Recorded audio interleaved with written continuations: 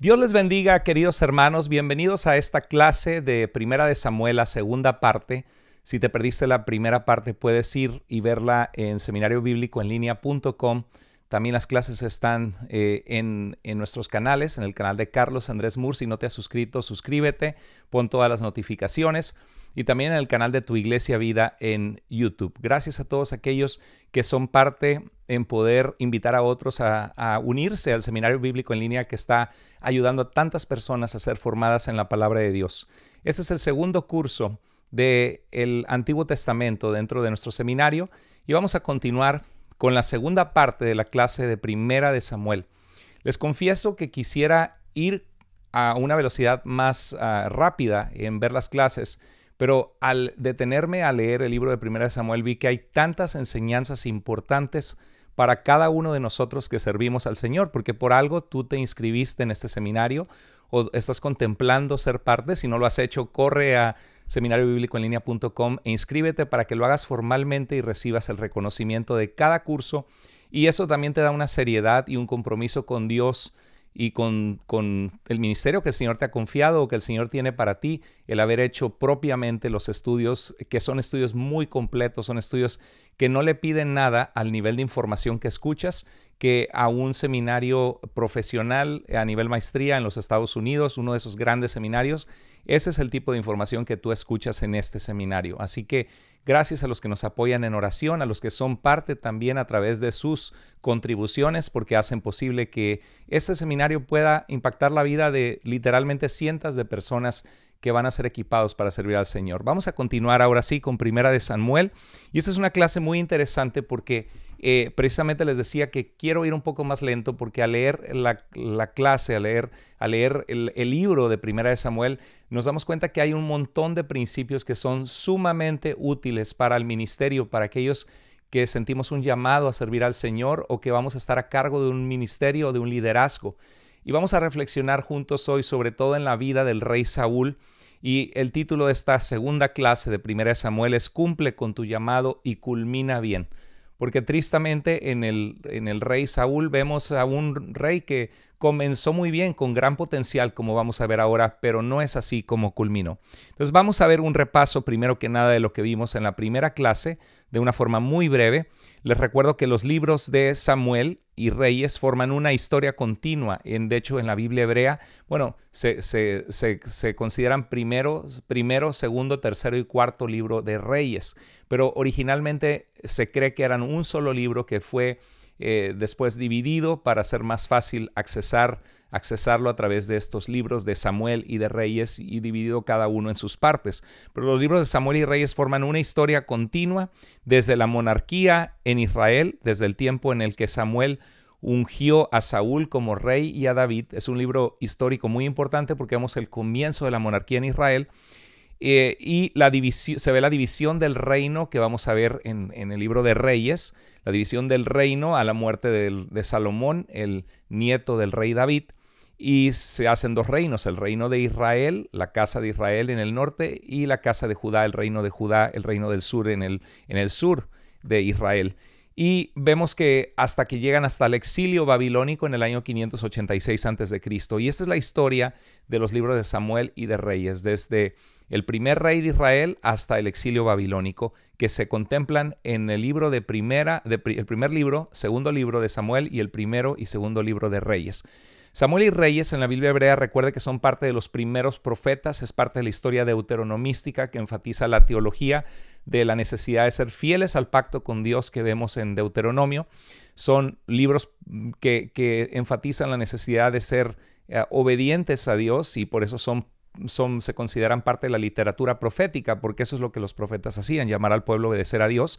Son contados no desde el punto de vista de solo narrarnos la historia de Israel y que nos entretengamos con historias, eh, con historias interesantes, llenas de, misterio, llenas de, de, un desenlace de la trama que nos cautiva, sino son hechas para llamarnos a la fidelidad a Dios desde la perspectiva de Dios.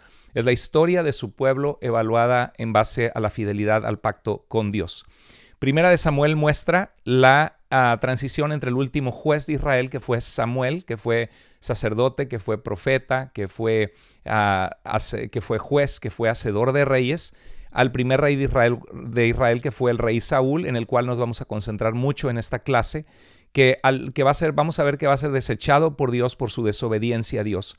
Entonces el libro, después de, de ver que, que Saúl es desechado como el rey de Israel por parte de Dios, vemos que el libro se enfoca en la vida del rey David desde que fue ungido por Samuel en el capítulo 16, narrando la persecución y los celos del rey Saúl eh, hacia él por temor a, ver en David un rival a su reino y al reino de su hijo Jonatán.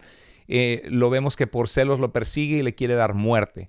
Pero finalmente quien muere en el libro al final es, Saúl en el capítulo 31 y en, en segunda de Samuel capítulo 2 es cuando vemos que David es finalmente proclamado como rey de Judá primero, que reina siete años en Judá, y después rey sobre todas las tribus de Israel. Entonces esta es la historia de, los libros de Samuel que vimos la, en la clase pasada. Esto es un repaso. Eh, recuerda que los cálculos tradicionales, eh, en, en 1 Samuel 13.1 se dice que Samuel reinó 42 años sobre Israel. Dice que Saúl tenía 30 años de edad, fíjate, es aproximadamente la misma edad del rey David cuando va a ascender al trono, ya cuando un hombre tiene madurez, mm, se supone que debe tener madurez ya a los 30 años de edad. Muy interesante porque la edad que el Señor Jesucristo también comenzó su ministerio, de los 30 a los 33 años aproximadamente, y aquí vemos que de los del rey David aproximadamente a los 30 llegó a ser rey. Saúl de la misma manera dice 1 Samuel 13:1, Saúl tenía 30 años cuando comenzó a reinar y reinó 42 años sobre Israel. Y en Hechos 13:21 se redondea y se dice que Saúl reinó 40 años. Ahora, lo interesante que en el texto masorético, cuando hablamos de los textos del Antiguo Testamento, de las Escrituras, las fuentes que tenemos hoy día de las Escrituras son primeramente el texto masorético. Se le llama masorético porque los masoretas eran escribas que copiaban el texto bíblico y fue una, un oficio que vemos en auge después de Cristo. De entre el año 500 al año 1000 después de Cristo, los masoretas copiaban con absoluto cuidado y, y delicadeza los textos del Antiguo Testamento para ser fieles y que no se alteraran esos textos. Ahora, eh, tenemos también la Septuaginta, que es lo que hoy se conoce como Septuaginta, que es la traducción al griego de las escrituras hebreas, que generalmente son un poco más tempranas que el texto masorético, porque ya se habían empezado a traducir los libros del Antiguo Testamento desde 200 años antes de Cristo, y esto se conoce pues como las escrituras, eh, la traducción al griego de las escrituras hebreas, que después fue conocido como la Septuaginta, y tenemos el texto masorético. Y aparte de esto tenemos el descubrimiento en 1947 de los rollos del Mar Muerto, de esta comunidad que vivía a orillas del Mar Muerto, una comunidad que buscaba santificarse, apartarse de la civilización para ser fieles a Dios, la comunidad en Qumran, que también se encontraron muchos textos del Antiguo Testamento para cotejarlos, para compararlos. Pero en el texto masorético, que es 500 a 1000 años después de Cristo, dice que Saúl reinó dos años, que es algo que, es, un, error eh, probablemente de copistas, ¿no? De que, ha causado muchos estudios eh, en la crítica textual, en el estudio de los textos antiguos. Pero el, Nuevo Testamento valida este reinado de Saúl por 40 años. Entonces se calcula, en los cálculos tradicionales aproximados, siempre hay algunas variaciones, pero entre el año 1050 al año 1010 se pone estos 40 años del reinado de Saúl y del año 1010 al 970 el reinado del rey David tradicionalmente. Muy bien, pues vamos a ver ahora, continuar donde nos quedamos la clase pasada de la primera parte de Primera de Samuel y vamos a ver la estructura y panorama de Primera de Samuel. Es una continuación de la clase pasada, pero vamos a retroceder un poco para recordarles de, qué trató. Y antes que nada quiero que ustedes vean esta imagen que es importante, donde vemos eh, Primera de Samuel, más o menos aquí se ve lo que, cómo se divide el, libro, cómo se estructura, los temas que, de los que trata. En, primera en el primer libro o la primera parte de Samuel dijimos que es correcto decir primera de Samuel cuando nos hablamos de, de la primera parte o de la primera narrativa del libro de Samuel, pero generalmente se dice primer libro de Samuel, primero de Samuel, primera de Samuel, ambas son correctas según a lo que nos refiramos. En, en primero de Samuel, capítulo 1 al 7, Samuel, el último juez de Israel, eh, se ve en estos siete capítulos su historia, cómo nació de su madre que era estéril Ana, cómo sirvió a los pies del sacerdote Elí. Muy interesante esta historia, como, como tuvo victoria sobre los filisteos, llegó a ser juez de Israel, cómo sus hijos empezaron a andar en, en, desobediencia al Señor. Eh, igual que, triste, ¿no? Porque eso sucedió con el profeta, con el sacerdote Elí, con el sacerdote que, con el cual, con el cual fue puesto a su cuidado eh, Samuel por su madre Ana fue puesto al cuidado del sacerdote Elí. No, no profeta, Elí no era profeta, sino sacerdote. Y Samuel sí fue sacerdote porque era de la tribu de Leví y fue criado bajo Elí en el sacerdocio, pero también era profeta. Samuel sí era sacerdote, profeta, juez y hacedor de reyes, eran sus, sus oficios. Ok, en el, en el capítulo 8 al 31 vemos que se enfoca en la vida de Saúl, que es donde hoy nos vamos a enfocar en esta segunda parte, vamos a reflexionar en el carácter de Saúl, que nos va a servir para reflexionar en nuestra fidelidad a Dios en su servicio, que, fue Saúl el primer rey de Israel. Y el segundo libro de Samuel que vamos a ver más adelante, eh, vemos que del capítulo 1, verso 1 al capítulo 5, verso 5, vemos a David sobre rey de Judá y en el capítulo 5, verso 6 al capítulo 24, 25, el último verso de 2 de Samuel, está, vemos a David como rey sobre todo Israel. Y es hasta Primera de Reyes el, eh, que vemos que en Primera de Reyes, capítulo 2, verso 10, vemos que David murió y fue sepultado. Entonces, eh, en, este, en este segundo libro de Segunda de Samuel nos vamos a concentrar en el reinado de Saúl, cómo David asciende al trono eh, pero él no reclama el trono que Dios le había dado al ser ungido como rey, sino espera el tiempo de Dios para ser rey. Y, vemos los celos y la persecución de, Saúl contra eh, David. Entonces veamos ahora que ya capítulo 1 al 7 trata de Samuel, capítulo 8 al 31 se concentra en el reinado de Saúl, la desobediencia de Saúl en el capítulo 13 y 15 el rechazo de parte de Dios de que es rechazado el reino y los intentos de Saúl de matar a David, que sería el futuro rey de Israel.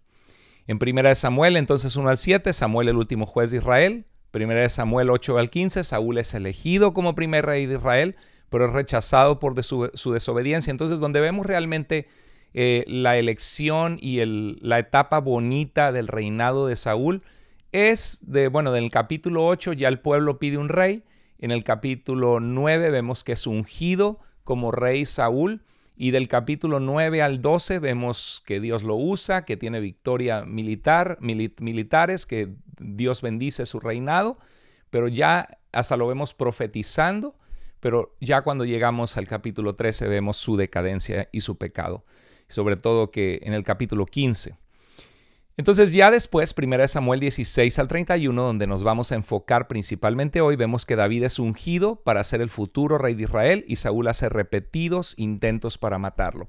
Recuerda que es importante la repetición para que nosotros entendamos bien, tomemos una fotografía mental de qué trata este libro de Primera de Samuel. Y eso es maravilloso, porque cuando nos toca predicar, cuando nos toca enseñar, o cuando abrimos la Biblia para un tiempo devocional, si aprendemos a, conocer de qué trata cada libro de la Biblia, tener una idea general de los temas, va a ser mucho más fácil entender lo que está sucediendo y poder enseñar la palabra de Dios eh, de, una forma, eh, de una forma legítima a lo que el texto bíblico dice, de una forma íntegra, para no nosotros colgarle al texto nuestras ideas, sino predicar y enseñar lo que realmente el texto, la palabra de Dios dice. Muy bien. Eh, pues 1 Samuel capítulo 8, el pueblo pidió a Samuel un rey, y en el capítulo 9, Saúl es ungido, Samuel unge a, Saúl como rey, ahorita vamos a ver algunos versículos, y presenta a Saúl como rey ante el pueblo en, los, en el capítulo 9 y 10. Hay, es importante reflexionar en este tema que estamos viendo de la importancia de ser fieles al llamado de Dios y culminar bien el llamado de Dios, cualquiera que sea el llamado que Dios te ha dado, ¿eh? así sea ser una mamá en tu hogar que llevas a, que educas a tus hijos en la palabra de Dios. Y por cierto, dicho sea de paso, queridos hermanos, esto no es tarea de las mujeres solamente.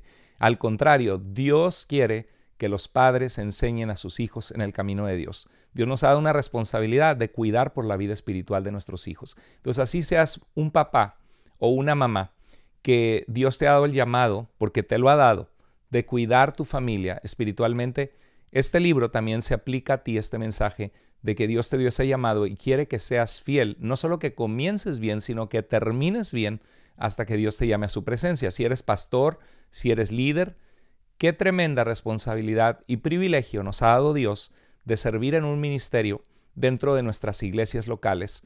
Tenemos que ser fieles y ser un ejemplo porque la iglesia ya tiene demasiados malos ejemplos de carnalidad, de pecado, de envidias, de egoísmo, de, de, soberbia, de, de, personas que llegan a estar en cargos dentro de la iglesia que no tienen el carácter y el amor para estar ahí. Entonces este es un, libro que nos va a desafiar y que podemos reflexionar en sus historias y en el comportamiento de Saúl. Saúl tenía todo, en los capítulos 9 al, al 13 vemos eh, ese desarrollo hasta que en el 13 falla, tenía todo para ser un gran rey. En primera de Samuel, capítulo 9, verso 1 al 2, dice, en la tribu de Benjamín, de allí era la, tribu del apóstol Pablo muchos siglos después, había un hombre llamado Quis, hombre muy respetado. Vemos en primer lugar que el padre de Saúl era un hombre respetado.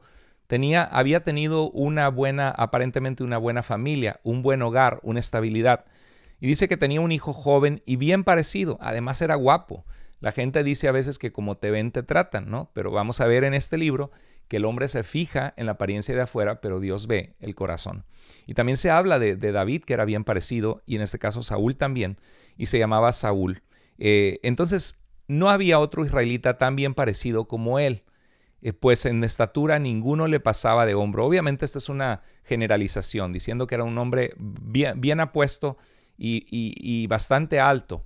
Y eso ya le daba una ventaja como de, imponer en su presencia para ser el representante del, reino de Israel. Y dice en el versículo 19 al 21, yo soy, eh, eh, bueno, sucedió que se le perdieron este, unas asnas al padre de, de, Saúl y fue con su, con su siervo a buscarlas para recuperarlas, porque pues era algo valioso haber perdido estas asnas que se salieron probablemente de un corral.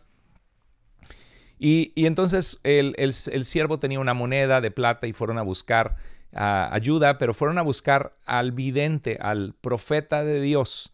Entonces en el camino se encuentran a Samuel y le dice, yo soy el vidente, respondió Samuel.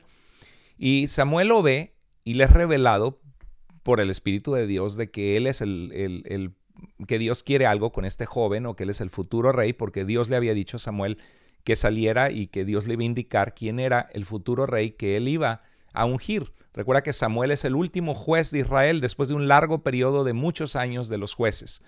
Después de la conquista de la tierra prometida vinieron los jueces y ahora vamos a tener al primer rey en la monarquía en Israel. Entonces le dice Samuel, come hoy conmigo, este, acompáñame al sacrificio que voy a hacer al Señor. Y dice, mañana te contestaré todo lo que, las preguntas que tengas. En cuanto a las asnas, es bien interesante porque el texto no dice que, que, le dijo Saúl nada de las asnas, solo se ve como que el Señor le revela que andan buscando estas asnas. Y le dice, en cuanto a las asnas que se te perdieron hace tres días, no te preocupes por ellas porque ya las han encontrado. Además, todo lo más deseable de Israel será para ti y para tu familia.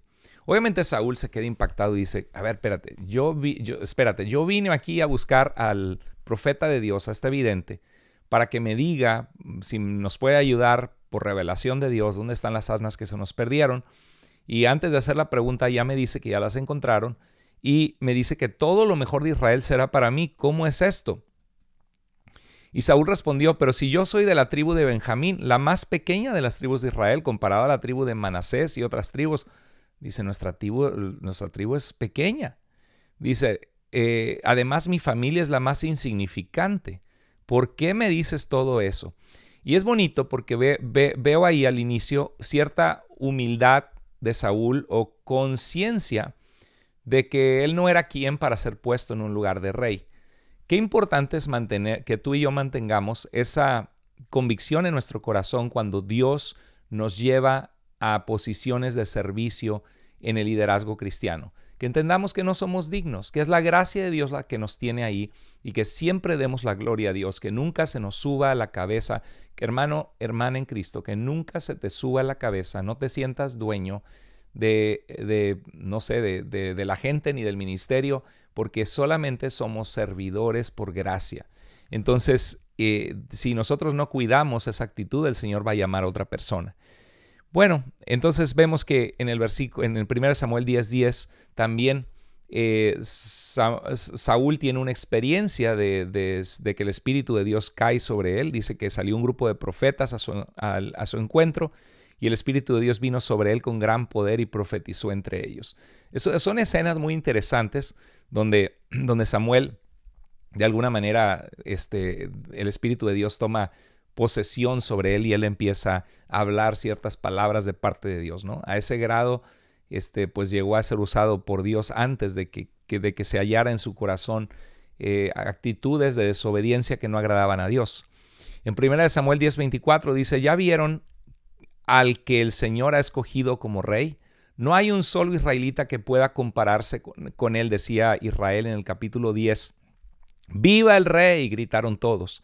Pero no faltaron malas lenguas, así dice la versión Dios habla hoy, una versión sencilla, fácil de leer, Dice, y este es el que va a salvarnos y lo menospreciaron y no le rindieron honores, pero Saúl se hizo el desentendido. Otro, otro, otro Aquí este, esta lectura de hoy, esta clase de hoy va a estar llena de lecciones para nuestros ministerios. Vemos, este, en primer lugar, que muchas veces cuando comenzamos en el liderazgo no tenemos credibilidad.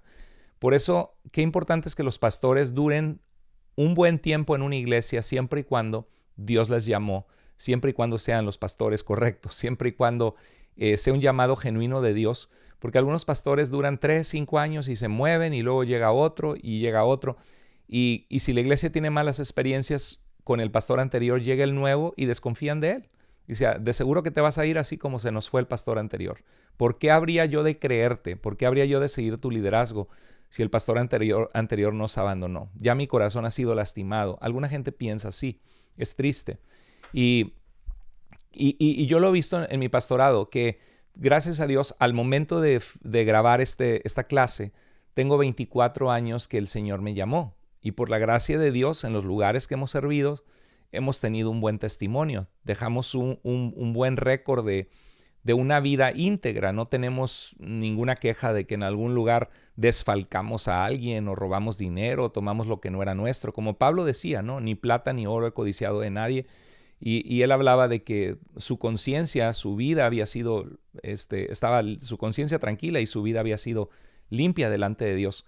Y toma muchos años, para que un ministerio sea efectivo, toma muchos años que la gente te conozca y que sepan que tu corazón está realmente por ellos, que realmente lo que quieres es agradar a Dios. Obviamente, no somos Dios para poder llenar las necesidades de todo, de toda la gente.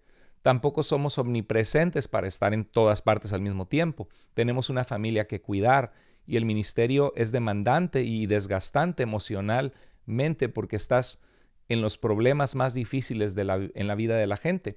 Entonces siempre este, tenemos que poner a Dios en primer lugar, nuestra familia, guardar ese margen de cuidar nuestra salud y nuestra vida para durar mucho tiempo sirviendo al Señor, pero que genuinamente estamos ahí porque amamos a la gente, porque queremos el bienestar de ellos y porque queremos que Dios sea glorificado. Realmente nos importa la fidelidad a la palabra de Dios, a Dios y a su palabra, y, el, ser fieles en amar a las personas. Entonces, si haces eso, eso te va a dar credibilidad. Y va a haber gente que al principio de tu ministerio te va a menospreciar. Por eso dice, y este es el que va a salvarnos, lo menospreciaron. Y creo que hay que hacer así como Saúl al principio, hacerte el desentendido, pero no necesariamente porque también el liderazgo tienes que reafirmar con tu conducta y con, tus, y con tu boca por qué estás ahí. Ah, deja ver tu corazón de por qué estás ahí sirviéndoles y que la gente sepa y te conozca que estás ahí con las razones correctas. Eh, en el capítulo 11 de Primera de Samuel, de la primera parte de Samuel, vemos los israelitas se alegraron mucho cuando su nuevo rey Saúl derrotó a sus enemigos amonitas. Vemos que Dios le da victorias a Saúl. En el capítulo 12 Samuel exhortó al pueblo a ser fieles a Dios y a servir a Dios. Y en el capítulo 14 dice, bueno, en el capítulo 13 ahorita vamos a ver la caída de, de Saúl, de cómo empieza a fallar a Dios, pero quiero antes leer en el capítulo 14 este, este resumen del reinado de Saúl porque nos muestra que fue un hombre usado por Dios a pesar de que después hasta endemoniado salió, ¿no? Vamos a ver más adelante. Pero en primera de Samuel 14:47 dice, cuando Saúl asumió el reinado sobre Israel, luchó contra todos sus enemigos de Israel en derredor, contra Moab, contra los amonitas, contra Edom, contra los reyes de Soba y contra los filisteos. Ahí están una, una parte de los 40 años o 42 que Saúl reinó sobre, sobre Israel. Y dice en la segunda parte del verso 4, dice, a donde quiera que se volvía resultaba vencedor, obró con valentía. Después lo vamos a ver como un cobarde más adelante. Pero aquí obró con valentía derrotando a los amalecitas y libró a Israel de manos de los que lo saqueaban. Y recuerda que dice que le pasaba a la gente que muchos le llegaban al hombro a Saúl. Era bastante alto. Si había alguien que debía haber enfrentado al gigante Goliat, era Saúl. Eh, una persona más la, más, la más alta, ¿no? O de los más altos en Israel. Entonces dice que libró a Israel de manos de los que lo saqueaban. Vemos un hombre usado por Dios, sin duda. Ahora vamos a ver cómo comenzó todo. Bueno, Saúl tristemente fue descalificado y Dios determinó que perdería el reino en los capítulos 13 al 15 del primer libro de Samuel. Qué importante para nosotros es el, el saber que no solamente es importante comenzar bien nuestro ministerio, sino tener consistencia y terminar bien.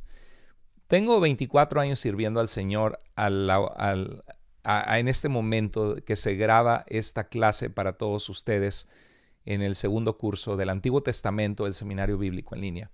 Y en todos estos años de servir al Señor me ha tocado ver gente con mucha capacidad, con potencial, pero a veces las personas que Dios termina usando no, no son las personas con más capacidad o potencialidad para servirle, con más capacidad o o, que nosotros podemos ver que, wow, cuántos talentos tiene esta persona, Dios lo podría usar tremendo.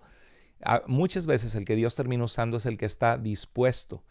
Dios quiere personas capaces, pero Dios busca más una persona disponible en sus manos, una persona humilde que le dice, Dios, haz conmigo lo que tú quieras, heme aquí, aquí estoy, envíame a mí, yo estoy dispuesto, yo estoy dispuesta. Entonces, claro que la capacidad importa también, eh, y, según los dones que Dios nos da es el rol, la función ministerial que vamos a tener. Pero vemos que Saúl fue descalificado y Dios determinó que perdería el reino. Vamos a, ver la historia. En el capítulo 13 es calificado como rey por ofrecer un sacrificio solo, sin esperar a Samuel y desobedeciendo una orden de parte de Dios. Este, vemos que un corazón corrompido se empieza a mostrar en pequeñas cosas. Dice Proverbios 4:23, sobre toda cosa guardada, guarda tu corazón, porque de él mana la vida. Hermano, hermana querida, si tú descuidas tu corazón delante de Dios y permites que haya amargura, recuerda lo que dice Hebreos, que cuidemos que por una raíz de amargura muchos sean contaminados. Si no cuidamos nuestro corazón, Satanás va a tomar ventaja en nosotros. Entonces, a, veces hemos sido lastimados, hemos visto malos ejemplos y lo peor que podemos hacer es repetir los malos ejemplos de otros. Seamos diferentes. Vivamos y seamos conforme a la diferencia que queremos ver en el mundo. Un corazón corrompido comienza, se empieza a mostrar en pequeñas cosas. En primera de Samuel 13:9 dice que entonces Saúl dijo: "Tráiganme el holocausto y las ofrendas de paz."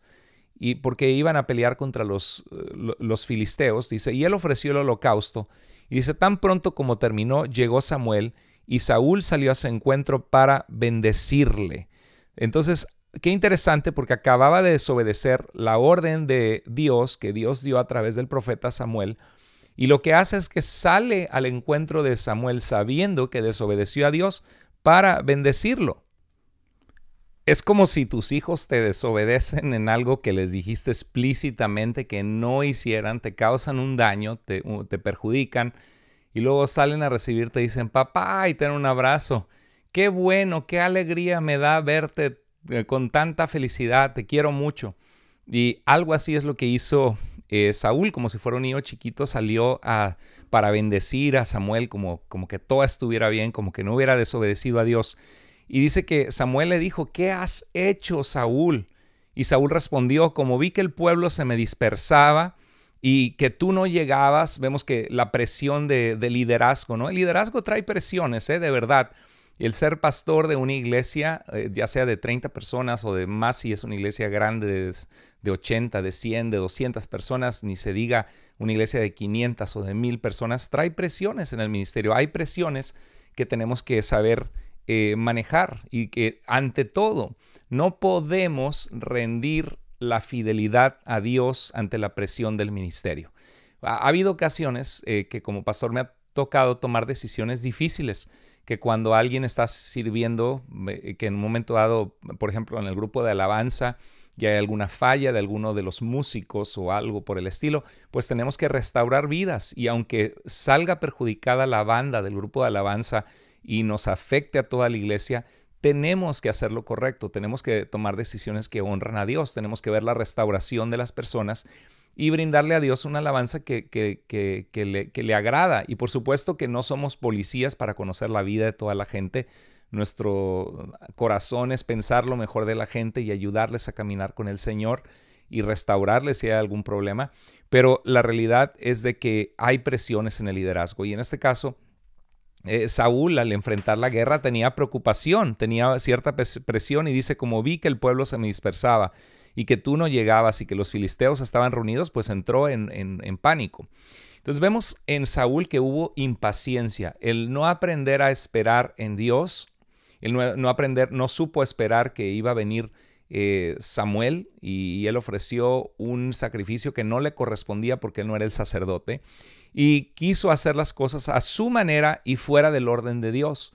Muy importante que cuando sirvamos a Dios lo hagamos con integridad, que sirvamos a Dios conforme a su palabra, que sirvamos a Dios amando a la gente, respetando a la gente, eh, que su amabilidad sea conocida por todos. El Señor está cerca, dice la palabra de Dios. Un líder tiene que aprender a ser paciente y querer hacer las cosas a la manera de Dios, aunque las cosas sean difíciles. En 1 Samuel 13, 12 dice, este, dice, me dije, ahora los filisteos, Saúl se dijo a sí mismo, dice, me dije, ahora los filisteos descenderán contra mí en Gilgal, y no he implorado el favor del Señor, así que me vi forzado. Fíjate cómo no acepta responsabilidad y le echa la culpa a alguien más, ¿no? Un mal líder a veces hace eso. Es que ustedes, ustedes me hicieron hacerlo. Eh, o, como un marido abusivo, ¿no? Tú me hiciste ofenderte, no, no, no, nadie te hizo ofenderte, tú tomaste tus decisiones y ser responsable de tus decisiones. Así que me vi forzado y ofrecí el holocausto. Y fíjate, para buscar el favor de Dios. O sea, para buscar el favor de Dios voy a desobedecer a Dios, por supuesto que no. Samuel dijo a Saúl, has obrado neciamente, no has guardado el mandamiento que el Señor tu Dios te ordenó. Entonces vemos que Saúl trató de justificar conductas fuera, que, tuvo fuera de la voluntad de Dios. Y luego dice en el verso 13, lo que has hecho es una locura. Si hubieras obedecido la orden que el Señor te dio, Él habría confirmado para siempre tu reinado en Israel. Yo me quedo pensando, ¿cuántos líderes en las iglesias también habrá así? Que Dios hubiera bendecido su liderazgo, si hubieran sido pacientes, si no hubieran caído en pecado, si no hubieran tratado mal a la gente, si no se hubieran ido de una iglesia eh, en, en, una decisión totalmente carnal, no, no espiritual, sino por sus emociones se fueron y se pierden de grandes bendiciones. Lo he visto en 24 años de ministerio. Pero ahora tu reinado no permanecerá. Entonces, ojo con esto, hermanos. Si queremos que Dios nos dé estabilidad en nuestra vida, en nuestra familia, en nuestro ministerio, tenemos que ser pacientes y actuar en obediencia a Dios, no desesperarnos tomando salidas falsas, creyendo que esa es la salida correcta para que nos vaya bien o resolver nuestro problema. En el capítulo 14 vemos una situación donde peleando este, en esta guerra, Saúl maldice sin querer a su hijo Jonatán porque lo condena a la muerte con un voto que él hace que todos, todos los soldados hagan, que es que no coman nada hasta que ganen la guerra. Ordenó que nadie comiera hasta que derrotaran a sus enemigos. Y eso mostró una gran insensatez como líder, una insensatez militar, porque obviamente, ¿cómo le vas a decir a una persona que va a pelear una guerra que necesita caminar kilómetros, que necesita pelear, que necesita eh, luchar mano a mano, espada a espada contra otros soldados enemigos en, los, en el que se está jugando su propia vida, le digas que no coma. Esto es absurdo. Jonatán, su hijo, no lo sabía y había hecho una proeza que se fue con su, con su escudero, con su ayudante y, entre los peñascos eh, entraron a donde estaban los filisteos y había, había hecho una maravilla, Jonatán, eh, un acto heroico. Y, en medio de eso, como en una cueva había miel de un panal de, de, abejas, quiso probar la miel y pues supuestamente pues violó el voto que tontamente había hecho Saúl, que el que comiera iba a morir. Y entonces él dijo, ah, pues mi hijo murió, mi hijo comió de la, miel que no debía, pues ciertamente morirá, matar a su propio hijo. Y el pueblo salvó a Jonatán de ser asesinado por su padre. Qué tremenda imprudencia, qué triste. Pero esto es lo que hace un líder con esa edad, un líder falto de sabiduría. Y vemos un mal liderazgo y decisiones insensatas. Que Dios nos permita a nosotros, en el rol de ministerio que Dios te ha llamado, a cada uno de nosotros, que seamos líderes sabios, que seamos líderes prudentes. Un líder sabio va a tomar decisiones sabias, decisiones inteligentes, decisiones que van a beneficiar a, los demás y decisiones que van a beneficiar el reino de Dios y que van a glorificar a Dios. Eh, en 1 Samuel 14, 44, y dijo Saúl, ciertamente morirá Jonatán. Pero el pueblo dijo a Saúl, debe morir Jonatán, el que ha obtenido esta gran liberación de Israel, no sea así. Vive el Señor, que ni un cabello de su cabeza caerá, a tierra porque él ha obrado con Dios en este día. Así el pueblo rescató a Jonatán y no murió. Vemos a, Saúl de mal en peor en su necedad. Y luego en el capítulo 15 vemos que Saúl desobedece a Dios en el Jerem de los amalecitas. Tenemos toda una clase eh, en, el, libro de Josué en la conquista donde hablamos acerca del Jerem, que era el, la entrega en ofrenda a Dios de, de, para el exterminio de algo que Dios había desechado, que es un concepto bien difícil de entender en nuestros tiempos, pero tenemos una clase y Dios había dicho que exterminaran todo en esta conquista de este pueblo enemigo de Israel, amalecitas, y vemos que parte de eso era exterminar su, su ganado. Este, y aunque a nosotros ahora nos suena algo que, suena raro, pero ¿cómo? ¿Por qué? Si, los, si el ganado pueden comerlo, pueden producirlo. De alguna manera, yo creo que lo que estaba atrás de esto, yo creo es que Dios no quería que conquistaran pueblos solamente para saquearlos o robarles. Pero de alguna manera era algo que Dios había entregado al exterminio y esa era la orden de Dios. Y en primera de Samuel 15:12 vimos que Samuel fue a ver a Saúl pero se encontró con que Saúl había salido para Carmel para hacerse un monumento en honor a sí mismo. ¡Wow! No, ahí vemos un problema con muchos líderes cuando existe el narcisismo, el pensar solo en lo que yo quiero, solo las cosas desde mi punto de vista sin importar cómo afectan a los demás. Un líder tiene que tomar decisiones. Y si el líder toma una decisión, va a haber personas que no, le van a, que no les va a gustar la decisión. Si dices pintamos la iglesia de blanco, va a haber los que quieren que se pinte de rojo, de azul, de verde, de amarillo, se van a sentir incómodos o van a sentir que no era la decisión que ellos querían tomar. Pero el líder no puede darle gusto a todos. Eh, supongamos que hay dos colores, pintar la iglesia de blanco o de negro. Si el líder la pinta de blanco, los de negro se van a molestar. Si la pinta de negro, los de blanco se van a molestar. Y ese es el, ese es el peso del liderazgo. Pero uno tiene que tomar decisiones con sabiduría, honrando a Dios, con sabiduría de consejeros aptos para tomar una decisión correcta. Ahora, eso no significa que si alguien viene y te comenta su sentir, este, lo tratas mal. Escuchas, eh, tienes empatía, explicas el por qué tomaste la decisión y sigues adelante. Entonces vemos que se hizo, pero el narcisismo es pensar eh, que eh, es, ser un poco, que te falta empatía, que solamente piensas en lo que tú quieres, solamente ver las cosas desde tu punto de vista, totalmente teniendo cero consideración a las opiniones contrarias.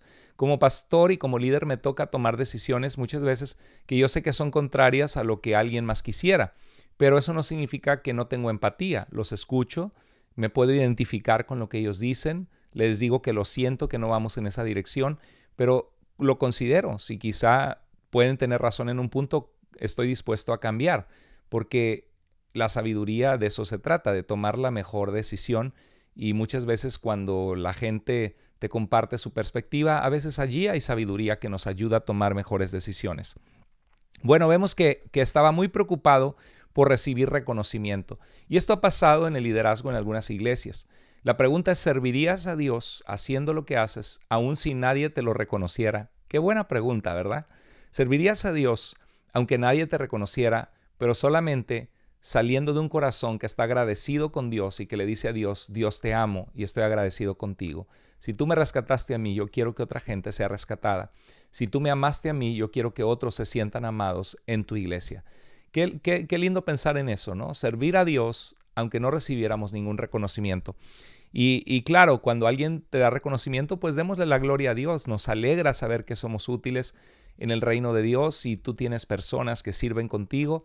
acostumbra a decir gracias muchas veces, ¿no? Gracias por lo que haces, porque la gente es de Dios y no somos dueños de la gente y la gente nos da el privilegio de ser parte en la visión que Dios nos ha dado para servirle a Él, para engrandecer su nombre. Entonces hay que agradecer a la gente.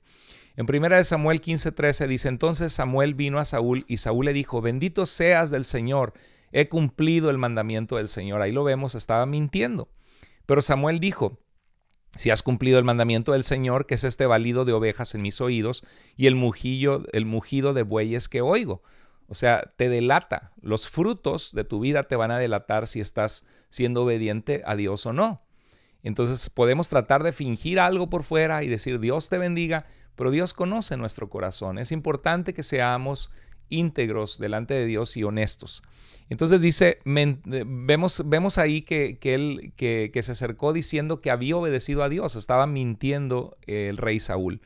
Entonces vemos que fue mentiroso para evadir responsabilidad y aparentar que todo estaba bien. Todo lo que vemos en, Saúl es lo que no debemos ser como hombres y mujeres de Dios. Y dice el verso 15 en 1 Samuel 15:15, 15, y Saúl respondió, los han traído de los amalecitas porque el pueblo perdonó lo mejor. Fíjate cómo fue idea de Saúl, pero le echa la culpa a los demás.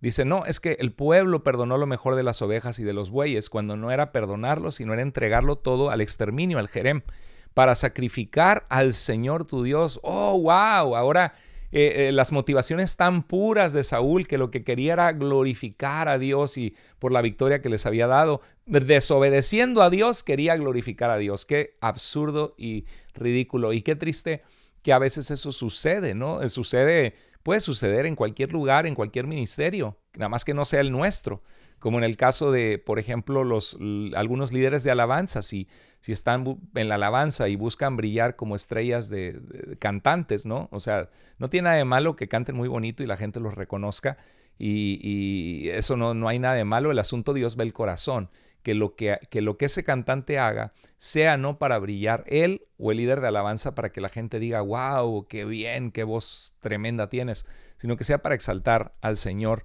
y, que no hagamos como que fingimos que hacemos algo para Dios cuando es para nuestro propio beneficio, ¿no? Este, que, de verdad le sirvamos al Señor con integridad porque lo merece.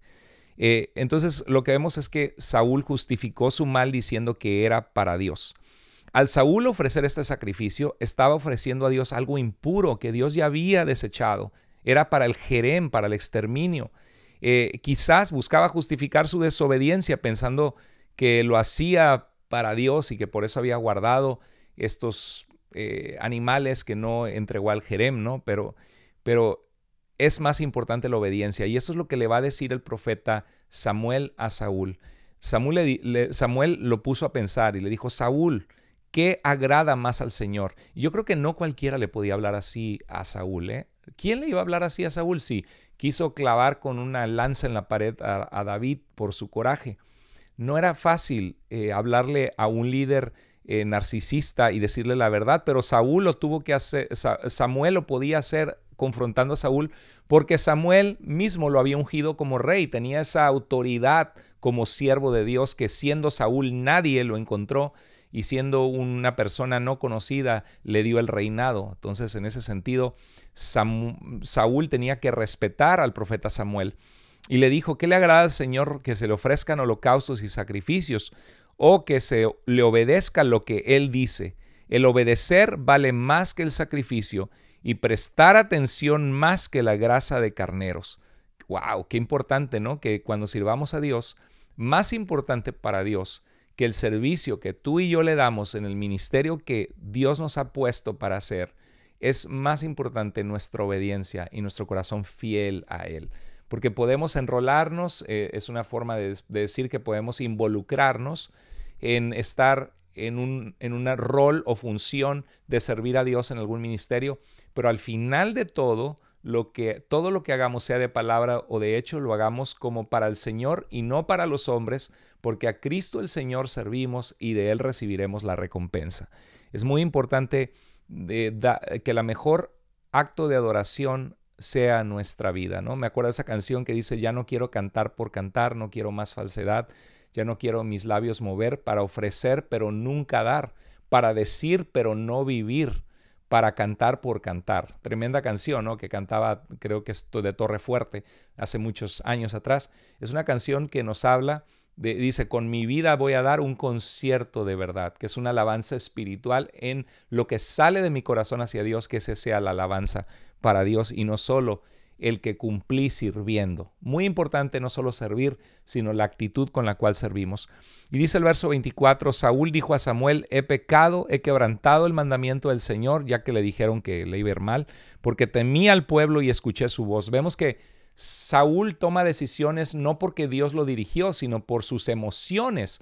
Mucho cuidado, y este, esto Dios va a hablar en esta clase a muchos de ustedes, porque hay personas que sirven a Dios y que somos emocionales sobre todo muchos líderes de alabanza, ¿no? De repente músicos caen en la depresión porque son sensibles en sus emociones y de repente ven algo que no les gusta y se van y o alguien está en un ministerio y de repente no le gustó algo y se va sin hablarlo, sin despedirse.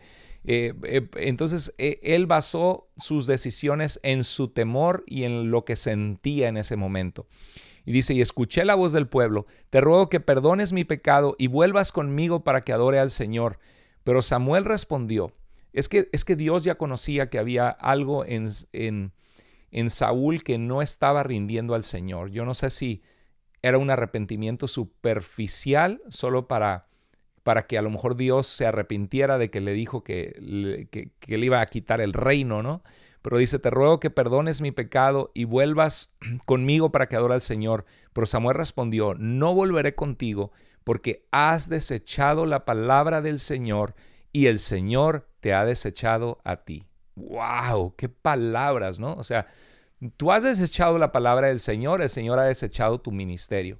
Qué importante es que por más que Dios te dé victorias, que la gente diga, qué bonito cantas, qué bonito sirves, qué bonita actitud, qué, qué, qué, qué bonita iglesia, cómo, qué bonito predicas, que siempre nos sometamos al Señor y sepamos que no podemos ser, no podemos ni llevarnos la gloria, ni ser desobedientes a Dios mm, descaradamente. Obviamente todos tenemos errores, fallas. Es por solo la gracia de Dios que le servimos. Como dice el Salmo, eh, en el Salmo 130, dice, Señor, si mirares la maldad, ¿quién podrá ser digno? Pero en ti hay perdón y abundante redención, este, Señor Dios de Israel. Realmente eh, es, por, es por sus misericordias que no hemos sido consumidos. Pero eso es diferente a fragantemente practicar el pecado en nuestras vidas, caer en pecados graves y no hacer nada al respecto o descaradamente estar lastimando a otras personas. Fácilmente era influenciable Saúl por sus emociones y por lo que la gente pensaba, por las opiniones de otros. Como líderes tenemos que estar sujetos a la palabra de Dios y no a nuestras emociones y sentimientos. En 1 Samuel 15:27 Saúl tomó el borde de su manto, o sea, se puso de rodillas eh, ante Samuel, por favor, no me quites el reino, pero si esto me ha dado identidad, si antes yo era un donadie, este, de una, de la tribu de Benjamín, mi clan era el más insignificante, pero, pero ahora soy rey de todo Israel y me vas a quitar el reino. Eh, y dice que le rasgó el manto, o sea, al agarrarlo se, se lo jaló esos hilos y se quedó con una parte. Y Samuel le dijo, hoy el Señor, así como arrancaste mi manto, el Señor te ha arrancado de ti, eh, una señal profética, el Señor ha arrancado de ti el reino de Israel y lo ha dado a alguien mejor que tú. Ay, lo peor que le puedes decir un narcisista, ¿no? Una persona eh, eh, que se endiosa a sí misma. Y dice, que Saúl respondió, he pecado, pero te ruego que me honres delante de los ancianos de mi pueblo. Otra vez él quería, no quería perder el reino y quería que Samuel, como profeta de Dios que lo ungió como rey, le diera reconocimiento delante de todos. Por favor, honrame delante de los ancianos, que no se den cuenta de lo que pasó, ¿no? Y delante de Israel, y que regreses conmigo para que yo adore al Señor tu Dios. Qué interesante, porque hay un cambio al Señor tu Dios, ¿no? Como que casi que había dejado de ser el Ciertamente Saúl no se estaba comportando como que Dios fuera su Dios. y le dice el Señor, tu Dios. Muy interesante analizar estos temas, este, este capítulo. Bueno, entonces así vemos la caída de que el reino les ha arrebatado, ya, ya Saúl está percibido de que Dios va a escoger a una persona mejor que él. Ya empieza a tener eh, mucho, mucho temor de que a ver cuándo le va a ser quitado el reino. Por eso es que cuando llega David está súper, súper preocupado porque ve que David es reconocido por la gente por una gran victoria que Dios le va a dar sobre el gigante Goliat. En el capítulo 16 al 18 vemos que hay un espíritu malo de parte del Señor en Saúl y este es un tema difícil porque vemos, ahora sí que vemos que, que en el caso de Saúl se aparta tanto del Señor o falla tanto que probablemente entró en una depresión, que en vez de clamar a Dios y decir, ok Dios, tú vas a traer otro rey, está bien, Señor, te pido perdón, me atengo a las consecuencias, trae al rey que tú quieras traer, Señor. Cuando Él venga yo lo reconoceré. Imagínate cómo hubiera sido la actitud de Saúl si hubiera dicho eso, cómo hubiera cambiado quizá el desenlace de la historia. Pero vemos que un espíritu malo vino de parte del Señor. Dice en primera de Samuel 16:14, el espíritu del Señor se apartó de Saúl. Cuando se aparta de nosotros, cuando nos alejamos de Dios, cuando contristamos al Espíritu Santo, y nos entregamos algún pecado en nuestras vidas, eh, eh, no hay cabida para que Dios obre en nosotros y nos use con poder. Pero cuando el Espíritu de Dios se apartó de él, fue reemplazado por un espíritu malo de parte del Señor lo, que lo atormentaba. Y ese es un texto que nos causa mucho, mucho, eh, muchas dudas. ¿Cómo es posible si Dios es un Dios bueno? que va a haber un, un, espíritu maligno enviado por el Señor que lo atormentaba. ¿Cómo está esto, no? Eh, podemos ver, por ejemplo, en Job capítulo 1, que se acercan los hijos de Dios, seres celestiales, a la presencia de Dios, y entre ellos viene Shatán, viene Satanás, el enemigo. Y él dice, vas a quítale a Job lo que tiene, sus bendiciones, y vas a ver cómo él, este, cómo él renuncia a ti, ¿no? Y, y, Job es puesto a prueba y Dios permite que Satanás toque la vida de Job, pero no que, que mate su vida. Y pasa muchas calamidades Job a través de estas, de estas pruebas tan difíciles que le vienen. Pero vemos a Satanás sometido a Dios. Entonces, e, en este caso dice que un espíritu malo de parte del Señor o enviado por el Señor. ¿Qué, qué quiere decirnos este texto? Bueno, quiero compartirles algunas cosas. Eh, por ejemplo, Santiago capítulo 1, verso 13 dice que nadie diga cuando es tentado, cuando es, cuando es tentado a, caer en un pecado, soy tentado por parte de Dios, porque Dios no puede ser tentado por el mal y él mismo no tienta a nadie, sino que cada uno es tentado cuando es llevado y seducido por su propia pasión. Entonces vemos que Dios no es el autor del pecado. Dios no es el autor de la rebeldía de Satanás y sus demonios contra Dios. Entonces, ¿qué significa que un espíritu de parte del Señor? Bueno, lo que puedo ver al conocer el corazón de Dios en las escrituras es que probablemente es un espíritu maligno, un demonio, que Dios le dio el permiso o la autoridad de tocar la vida de Saúl al ver el desprecio de Saúl hacia los mandamientos de Dios y al ver que Saúl se endiosó a sí mismo de, querer hacerse hasta un monumento y, y, de alguna manera Dios lo entregó a su corazón alejado de Dios. Puedo pensar en Romanos 1.28 que habla de aquellos que adoraron a la creación en vez del Creador y dice que por cuanto ellos no tuvieron a bien reconocer a Dios, Dios los entregó a una mente depravada para que hicieran las cosas que no convienen. Entonces, esto de que un espíritu maligno de parte del Señor es probablemente la acción de Dios de entregar a Saúl a un corazón alejado de Dios. ¿Te quieres alejar de mí? Bueno, te entrego a, Satanás, ¿no? Te entrego a, un espíritu maligno.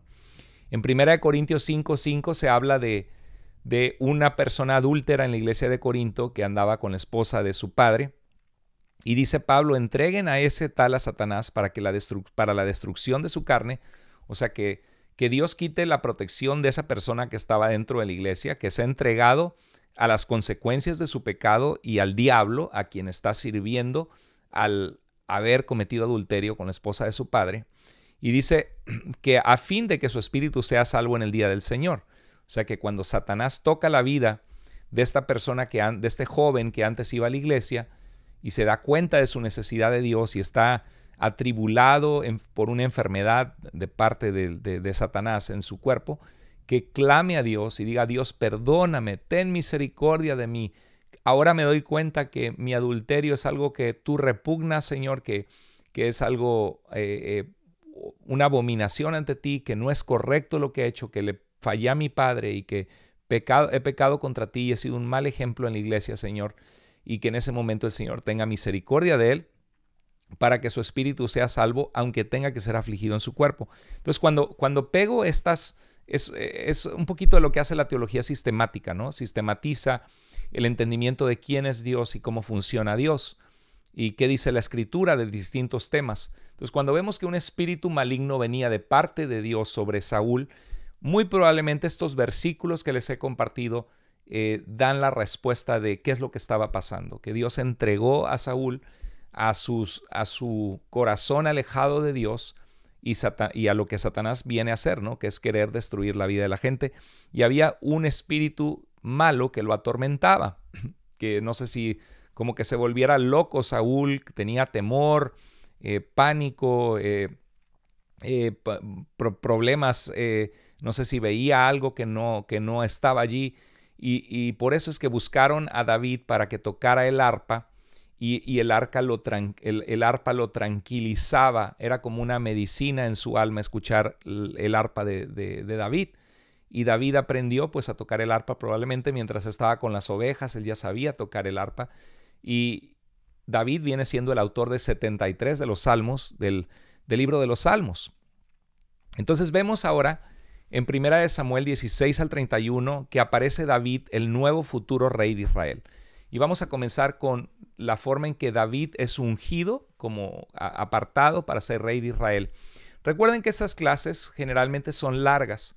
Hablaba con un hermano eh, en Argentina, uno de nuestros estudiantes fieles, esta semana, y me decía que él ve 30 minutos de las clases por día. O sea, toma una clase de dos horas o de dos horas y media y el lunes ve 30 minutos, el martes ve 30 minutos, el miércoles 30 minutos, el jueves 30 minutos y termina la clase del seminario. Algunas clases, cuando se están, llegará el punto que todas las clases de todas las materias estén arriba en el seminario bíblico en línea. Pero conforme vamos avanzando, eh, el, el seminario va también a mi paso, que voy dándome la oportunidad de repasar mis apuntes, mis estudios, mis clases, seguir trabajando. Me toma horas cada semana hacer esto por amor. Y hay momentos que tengo que, subir una clase cada dos, a veces cada tres semanas, a veces cada semana la subo según mi responsabilidad pastoral y como director del, seminario bíblico en línea, porque no solamente son las clases, sino enviar también con nuestro equipo las, revisar las inscripciones, enviar los correos para dar la bienvenida, ver las personas que se están graduando. Entonces siempre oren por nosotros. Y si tú eres bendecido por estas clases, sé parte Sé parte porque hay empleados del seminario bíblico en línea y la única manera que se sostienen es a través de las contribuciones voluntarias de los estudiantes mensuales, de acuerdo a lo que cada uno Dios propone en su corazón, que, valora de estas clases. Entonces sé parte, hermanos. En primera y gracias a todos aquellos que lo son, sobre todo gracias a los que nos apoyan en todas las formas, incluyendo sus oraciones, que hacen una diferencia. Bueno, en 1 Samuel 16:31 aparece David, el nuevo futuro rey de Israel. Recuerden, les decía que, que, tú puedes ver las clases a tu propio paso. Cuando tengas que hacer una pausa, haz la pausa y después regresas a continuar. Solo tienes que acordarte dónde te quedaste y tener la disciplina de no abandonar la clase, sino continuar viéndola. Y si tienes tiempo de, de, de sobra o tienes la concentración mental, ve la clase hasta el final, según cómo te sientas tú. Este es un seminario que se hace a tu paso, a tu propio tiempo, conforme te es posible avanzar. Y eso es una bendición, es una maravilla de verdad que Dios nos provee esta plataforma para poder equipar tantas personas que quieren servir al Señor. Muy bien, vamos a ver entonces, en 1 Samuel 16.1 dice, el Señor dijo a Samuel, ¿cuánto tiempo vas a quedarte llorando por Saúl si ya lo he rechazado como rey de Israel? Yo me puedo identificar porque a través de muchos años sirviendo al Señor, ha habido personas que yo he visto un gran potencial de servir a Dios. Y de repente, por alguna razón, se desaniman o son muy listos, muy inteligentes, se envuelven en un negocio, tienen la capacidad para ser buenos en el negocio, en el liderazgo, y se van a trabajar secularmente y se olvidan que Dios les dio un llamado. Y eso duele en el corazón porque tú ves el potencial de cómo Dios podía haber usado la vida de una persona, pero prefirieron lo que el mundo les ofrecía que ser fieles a Dios. O en ocasiones ves a un líder caer en pecado y te parte el corazón porque truncan todo lo que el Señor podría haber hecho con ellos y realmente eso te hace llorar literalmente. Y por eso Dios le dice a Samuel, ¿cuánto tiempo vas a quedarte llorando por Saúl? Y nos sirve a nosotros como líderes o pastores. Cuando pierdes a una persona que se fue de la iglesia, que digo por una razón injustificada, no porque la iglesia está plagada de, de, corrupción y falsa doctrina, ¿no? Pero se, se van, ni siquiera se despiden, o se van por una razón inmadura, o, o caen en pecado. Muchas veces vamos a tener que llorar o sufrir al ver que estos líderes que vimos ya no son más, ¿no? O, estos, o esta gente que servía a Dios. Y, hay un punto donde Dios nos va a decir, ya no te quedes llorando por esta persona. O sea, trata de restaurarla, háblale, haz lo que esté en tu parte para que se concientice. Pero si ya no te hace caso, no somos dueños de la gente, se los entregamos a Dios y seguimos adelante buscando que Dios levante otra persona más en nuestra iglesia para sustituir a esa persona que se fue. Entonces dice, mejor llena de aceite tu cuerno y ponte en camino, voy a enviarte a Belén, a la casa de Isaí pues he escogido como rey a uno de sus hijos.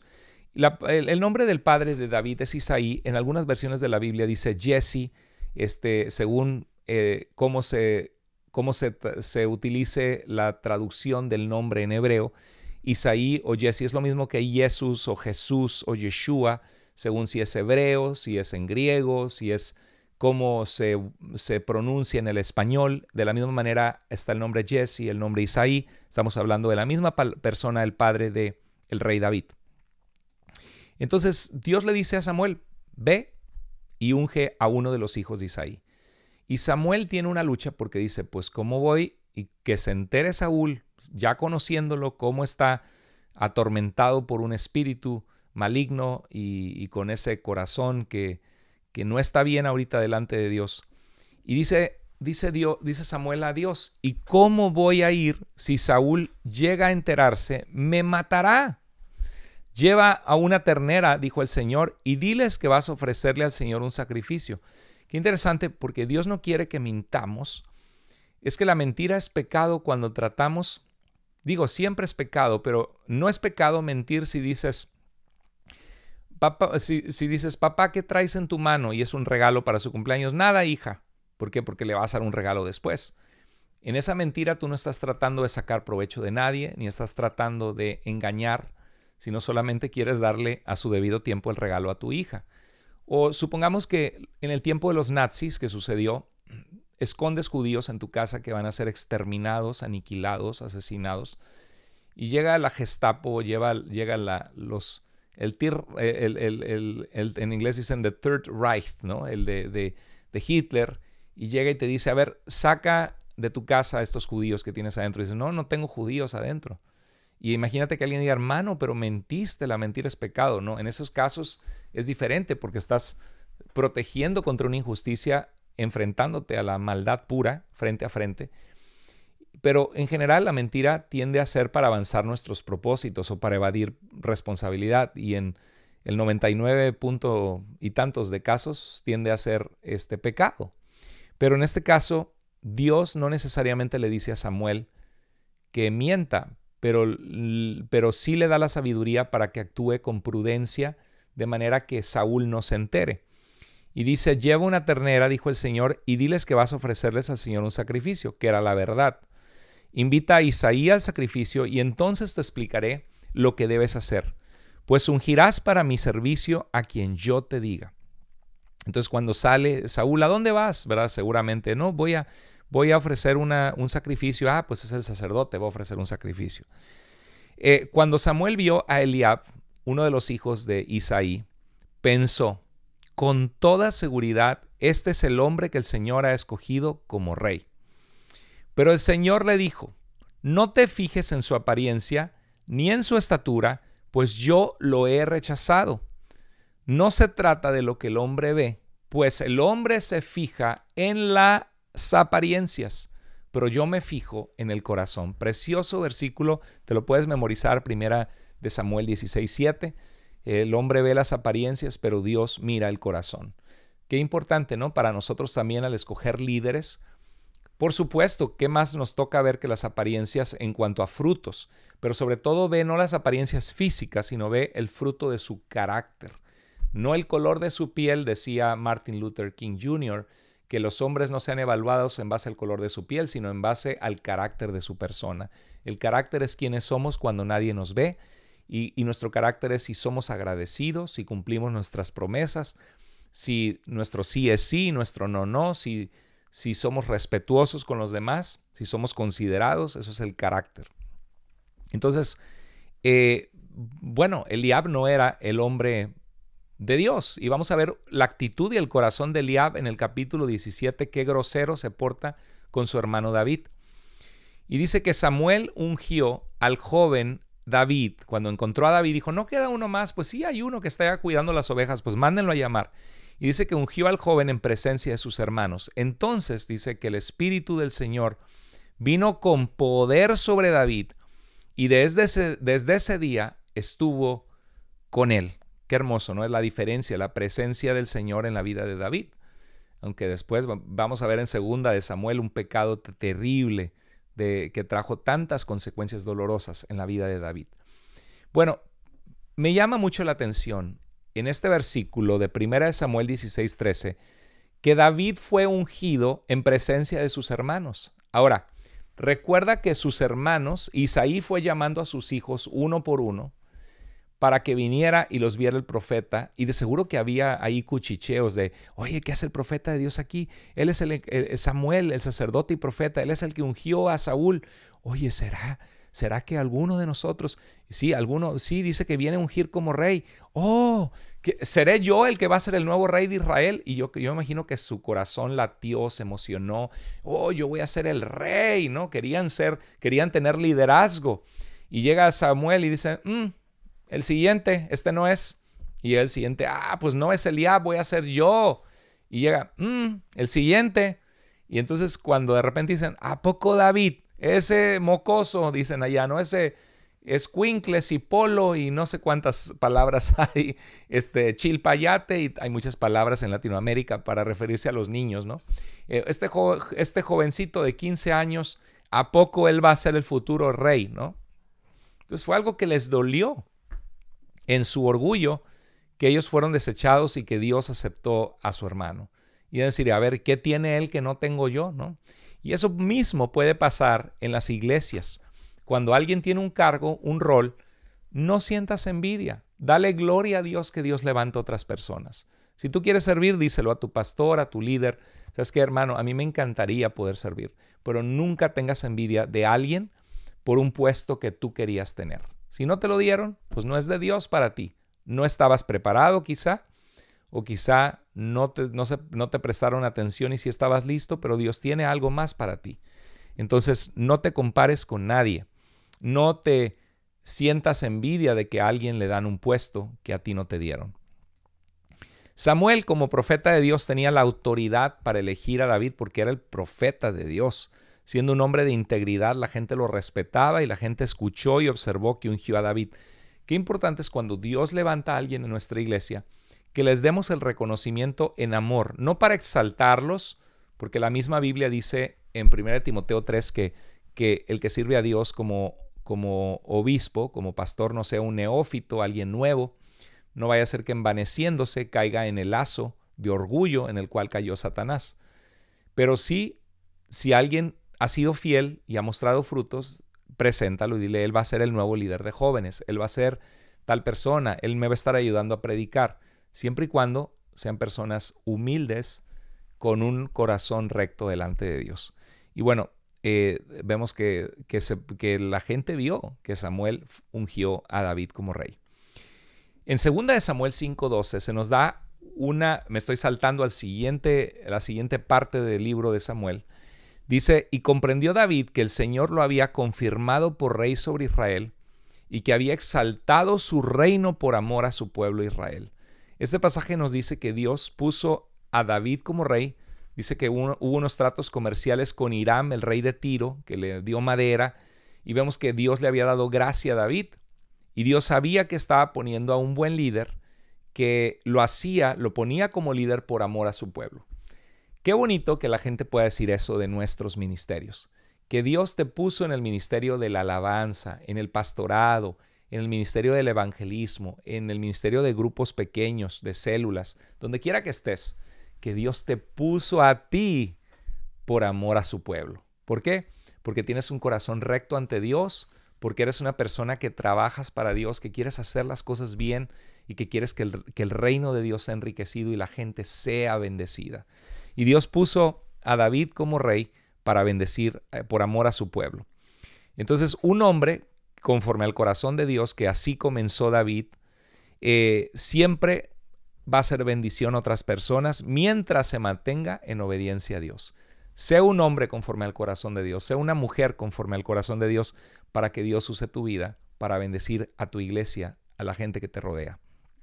Cuando otros ven a solo un pastorcito de ovejas, sus hermanos no daban ni un quinto por David. pues ahí está el pastor de ovejas que está con las ovejas y ya, ¿no?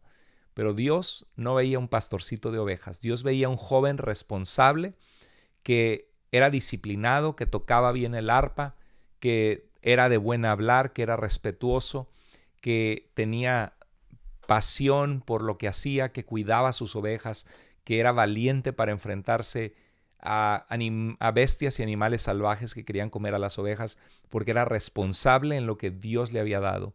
Ser responsable donde Dios te ponga, así sea limpiar baños, así sea estar en el ministerio de seguridad o de dar una clase a los niños, donde Dios te ponga, sé fiel en lo poco para que Dios te ponga sobre mucho. Y así pasó que siendo un pastorcito de ovejas, Dios podía ver en él el futuro rey de Israel. Y los incidentes insignificantes de su vida, como estar allá cuidando las ovejas fueron lo que Dios utilizó, el aprender a usar una onda, este, este instrumento de, de, guerra o, de, o esta arma de que con un pedazo de cuero podía ponerle una piedra y arrojarla a grandes velocidades y con gran fuerza. Esto fue lo que utilizó Dios para que él fuera triunfante sobre el gigante que retaba los ejércitos del Dios vivo, que era Goliat. Como vamos a ver, fueron los preparativos de Dios para su futuro. Vamos a ver ahora sí la historia tan conocida, una de las historias más famosas de la Biblia, la historia de David y el gigante Goliat. ¿Se acuerdan de la historia de David y Goliat? Bueno, vamos a preparar nuestro corazón para escuchar esta fascinante historia y, te has puesto a pensar cuánto medía Goliat. En 1 Samuel capítulo 17 vemos eh, que, que, Jesse o Isaí ve que sus hijos están en la guerra y vemos que, que David era este, el más joven cuando estaba eh, cuidando las ovejas de su padre. Y ¿Qué edad tenía David? No? Es una buena pregunta. Algunos creen que tenía entre 15, 16, máximo 17 años de edad. Era un, joven que para la época antigua ya era un joven, ya era un hombre, porque era ya la edad que, se podía inclusive casar. Entonces vemos a, David que está con su padre y su padre le manda comida, provisiones para sus hermanos que están en la guerra contra los filisteos. y le dice, por favor, pregúntale a tus hermanos cómo están, eh, quiero que me digas, que, me informes sobre el paradero de ellos, quiero saber que estén bien. Cada persona que deja ir a sus hijos a la guerra es una preocupación terrible porque saben que pueden morir o que alguno de ellos podría haber muerto. Entonces los envía a la guerra y y vemos que eh, el joven David llega a las pregunta, este, cuando llega ve que están gritando para pelear contra los filisteos. Vamos a leerlo. Dice 1 Samuel 17:20. Cuando David llegó al campamento, el ejército se disponía a salir a la batalla. Los israelitas y los filisteos se alinearon frente a frente y corriendo a las filas se metió en ellas para preguntar a sus hermanos cómo estaban. Seguro que buscó dónde, oye, ¿sabes dónde están mis hermanos? Eliab, Eliab, Eliab, el hijo de Isaí, Eliab, el hijo de Isaí. Ah, está allá, está tres hileras para allá.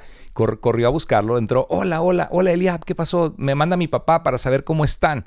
No, ¿cómo están? Dice mi papá que quiere que están bien y aquí está esta comida, estas provisiones, aquí están, este, para que coman antes de enfrentar la guerra o que las guarden y, y tengan comida. Entonces dice que mientras hablaba con ellos, aquel guerrero filisteo llamado Goliat salió de entre las filas de los filisteos y volvió a desafiar a los israelitas como lo había estado haciendo hasta entonces. Entonces David solo va a dejar comida, pero de entre, de entre ellos ve que surge un tremendo hombre con una estatura enorme que se presenta delante de ellos y empieza a gritar.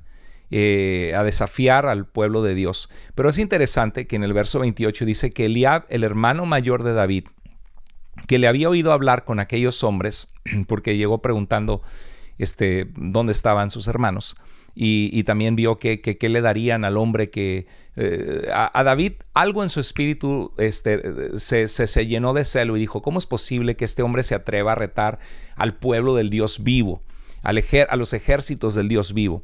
Entonces dice que se enfureció con eh, eh, Eliab al ver a su hermano preguntando sobre que, que, enterándose de lo que estaba pasando en la guerra con otras personas, se, se enojó mucho. Pero me llama mucho la atención que dice que se enfureció con él y le dijo, ¿a qué has venido? Soy seguro que le va a haber gritado, siendo hermano mayor, ¿no? ¿Y tú qué, mocoso, qué haces aquí? ¿Tú a qué viniste aquí, no? ¿Con quién dejaste esas cuantas ovejas que están en el desierto hasta, hasta menospreciando el trabajo que hacía? Y dice, yo conozco tu atrevimiento y tus malas intenciones, porque has venido solo para poder ver la batalla. Y dijo David, ¿y qué he hecho ahora? Contestó David, si apenas he hablado y se apartó de su hermano, que es lo que hay que hacer con alguien que te está ofendiendo, no te pones a confrontar con un necio porque te vuelves necio. Y dice que al preguntarle a otro de sus hermanos recibió la misma respuesta. Híjoles, acá hay bastantes eh, lecciones. En primer lugar, la gente va a juzgar tus motivos al servir a Dios. Ah, de seguro que está al frente porque quiere brillar. ¿Acaso conocen tu corazón? ¿Acaso saben, te conocen las, las oraciones que le has dado al Señor de rodillas diciendo, Señor, no soy digno de ti, pero aquí está mi vida, quiero servirte porque tengo pasión por tu reino? No te conocen, pero juzgan tus intenciones. A mí como pastor, uh, pues tengo 24 años en el ministerio y tarde o temprano llegan rumores a ti de gente que de gente que cree cosas de ti que son malas percepciones. Es el corazón de ellos, allá, allá ellos con Dios, ¿no? Una mala percepción, pero no me conocen. Es una impresión que se llevan y no conocen mi corazón delante de Dios ni por qué hago lo que hago. Entonces aquí va a haber gente que cuando Dios te está llamando va a juzgar las intenciones de tu corazón. Y cuando escuchas esas cosas te, va, te, van, a, te van a lastimar, te, duele pensar que otros piensan de ti eso. Alguien dijo que los, los eulogios que te da la gente y las críticas que te dan la gente, que las hagas como el chicle. Y dices, ¿cómo que como el chicle? ¿Que se me peguen? No. Mastícalas, saborealas, pero no te las tragues. Alguien te dice, no hombre, qué bien lo haces. Gloria a Dios, qué bonito. Es bonito también decirle a alguien que hace, que hace, decirle a alguien que te ha bendecido cómo te ha bendecido, porque eso anima, porque hay desánimos en el ministerio. Y cuando alguien me dice eso, digo, gloria al Señor, Señor, gracias. O son también como aliento que dices, vamos bien, sufrimos, eh, nos esforzamos, nos sacrificamos, nos desvelamos para hacer lo que hacemos, pero Dios está siendo glorificado, pero vidas están siendo transformadas pero tampoco me lo, te lo tragues en el sentido de decir, oh, no, porque toda la gloria es de Dios. Y, a veces la crítica nos pega muy duro, porque la gente nos da donde nos duele. Y, y tampoco, ok, di, a ver, hay algo que yo tengo que cambiar, hay algo que de verdad estoy haciendo mal, a lo mejor es Dios usando esta persona que me está criticando para apuntar en mi vida algo que está mal y que tengo que cambiar. Pero por el otro lado, si no es así, a lo mejor es el enemigo, a lo mejor es Satanás acusándote para desanimarte y que tires la toalla y que ya no sigas sirviendo a Dios. Entonces tienes que tener mucho cuidado. Entonces, qué injusto sus hermanos con David, ¿no? Y ahora me pregunto, ¿por qué se enojaron? ¿Sabes por qué? Por lo que vimos antes, que en el capítulo 16 los hermanos dijeron, no, este no, el que sigue, este no, el que sigue. Y de repente fue David Tenían envidia. Ellos ya sabían que él era el siguiente rey de Israel y no lo podían creer. Y en vez de alegrarse que era su propio hermano, en vez de decir voy a ser hermano del rey, No, estaban con envidia pensando por qué no fui yo. Terrible, ¿no? Y a veces pasa eso en las iglesias, nos carcomemos unos a otros en vez de alegrarnos que Dios está utilizando nuestras vidas. Entonces dice que, que, otro hermano también le dijo lo mismo. Ahora, hay algo que yo he visto en el ministerio después de 24 años a este momento en el ministerio, que cuando alguien critica en la iglesia eh, o en un ministerio, eso se contagia. Por ejemplo, ¿te fijaste que el pastor solo quiere hacer lo que él quiere? Pues, pues Dios le dio el liderazgo, ¿no? Y está obviamente dirigiendo, eso significa dirigir, tomar decisiones. Pero tomar decisiones no significa que está haciendo lo que él quiere porque no le importan los demás, ni tampoco porque no consideró las otras opciones, ni tampoco porque no se rodeó de gente que le ayudó a tomar decisiones. Entonces, pero con esa sola semilla de, de, de descontento, a veces se pasa la voz y la gente dice, ¿te fijaste? Ay, sí. Oh, sí, el pastor solo quiere hacer lo que él quiere. Y ya llega una tercera persona, ah, es que el pastor solo quiere hacer lo que él quiere. Y todo comenzó por una persona. Y aquí me pongo a pensar si Eliab les metió a sus hermanos, siendo el mayor, la semilla de desprecio hacia David, porque dice que preguntó a otro hermano y recibió la misma respuesta. Y a veces la respuesta que le está dando el otro hermano no es la respuesta de él, sino la respuesta de la influencia de Eliab que le calentó la cabeza. Esto, hermanos, que les estoy diciendo es muy serio. Pasa en las iglesias, pasa en los ministerios. Ahora, tenemos que tener la sabiduría para discernir, porque obviamente si hay un líder falso, un líder malo, que por ejemplo que de verdad se está robando el dinero, que de verdad está lucrando con la fe o que de verdad está que haciendo pactos con dinero y vendiendo pañuelos ungidos, ¿no? Las iglesias con falsa doctrina o que de verdad anda abrazando mucho a las jovencitas o algo así y la gente dice, "¿Te fijaste que el pastor o que el líder de jóvenes o que el líder de alabanza hace esto?" Bueno, a veces sí es, si es con justa razón. No es que te calles la boca y digas, ay, no voy a decir nada porque siembro cizaña. No, si es cierto, hay que hacer algo, porque hay que amar la obra de Dios. Pero si no es cierto y no te consta, hay que frenar lo que es solo una percepción equivocada que lastima la obra de Dios. Y eso es un arte, tienes que indagar un poquito más, saber de dónde viene la crítica, a quién se está criticando, cuáles son los frutos de la otra persona. Espero que te sirva lo que te estoy comentando para tu ministerio y tu vida y para la, para la vida de tu iglesia. Bueno, vamos a ver Goliat, el gigante Goliat. No te vayas porque vamos a ver acerca del gigante Goliat. ¿Qué tan grande era Goliat? ¿Tú qué crees? Puedes dejar tus comentarios aquí en el video. ¿Qué tan grande era Goliat? Bueno, ¿qué altura tenía? Bueno, primera de Samuel 17, 4 al 5 eh, eh, dice, su estatura de Goliat era de seis codos y un palmo. ¿Qué es un codo? Bueno, más o menos de la medida de tu codo a, tu, a tu dedo. Era, eso era un codo, aproximadamente 45, 47 centímetros es un codo.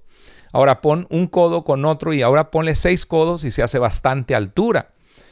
45 eh, centímetros por 6 o 47, casi 3 metros, y tenía, y, tenía eh, un casco de bronce sobre la cabeza y llevaba puesta una cota de malla este, en su cuerpo, una malla de, de metal para protegerle de espadazos, de heridas.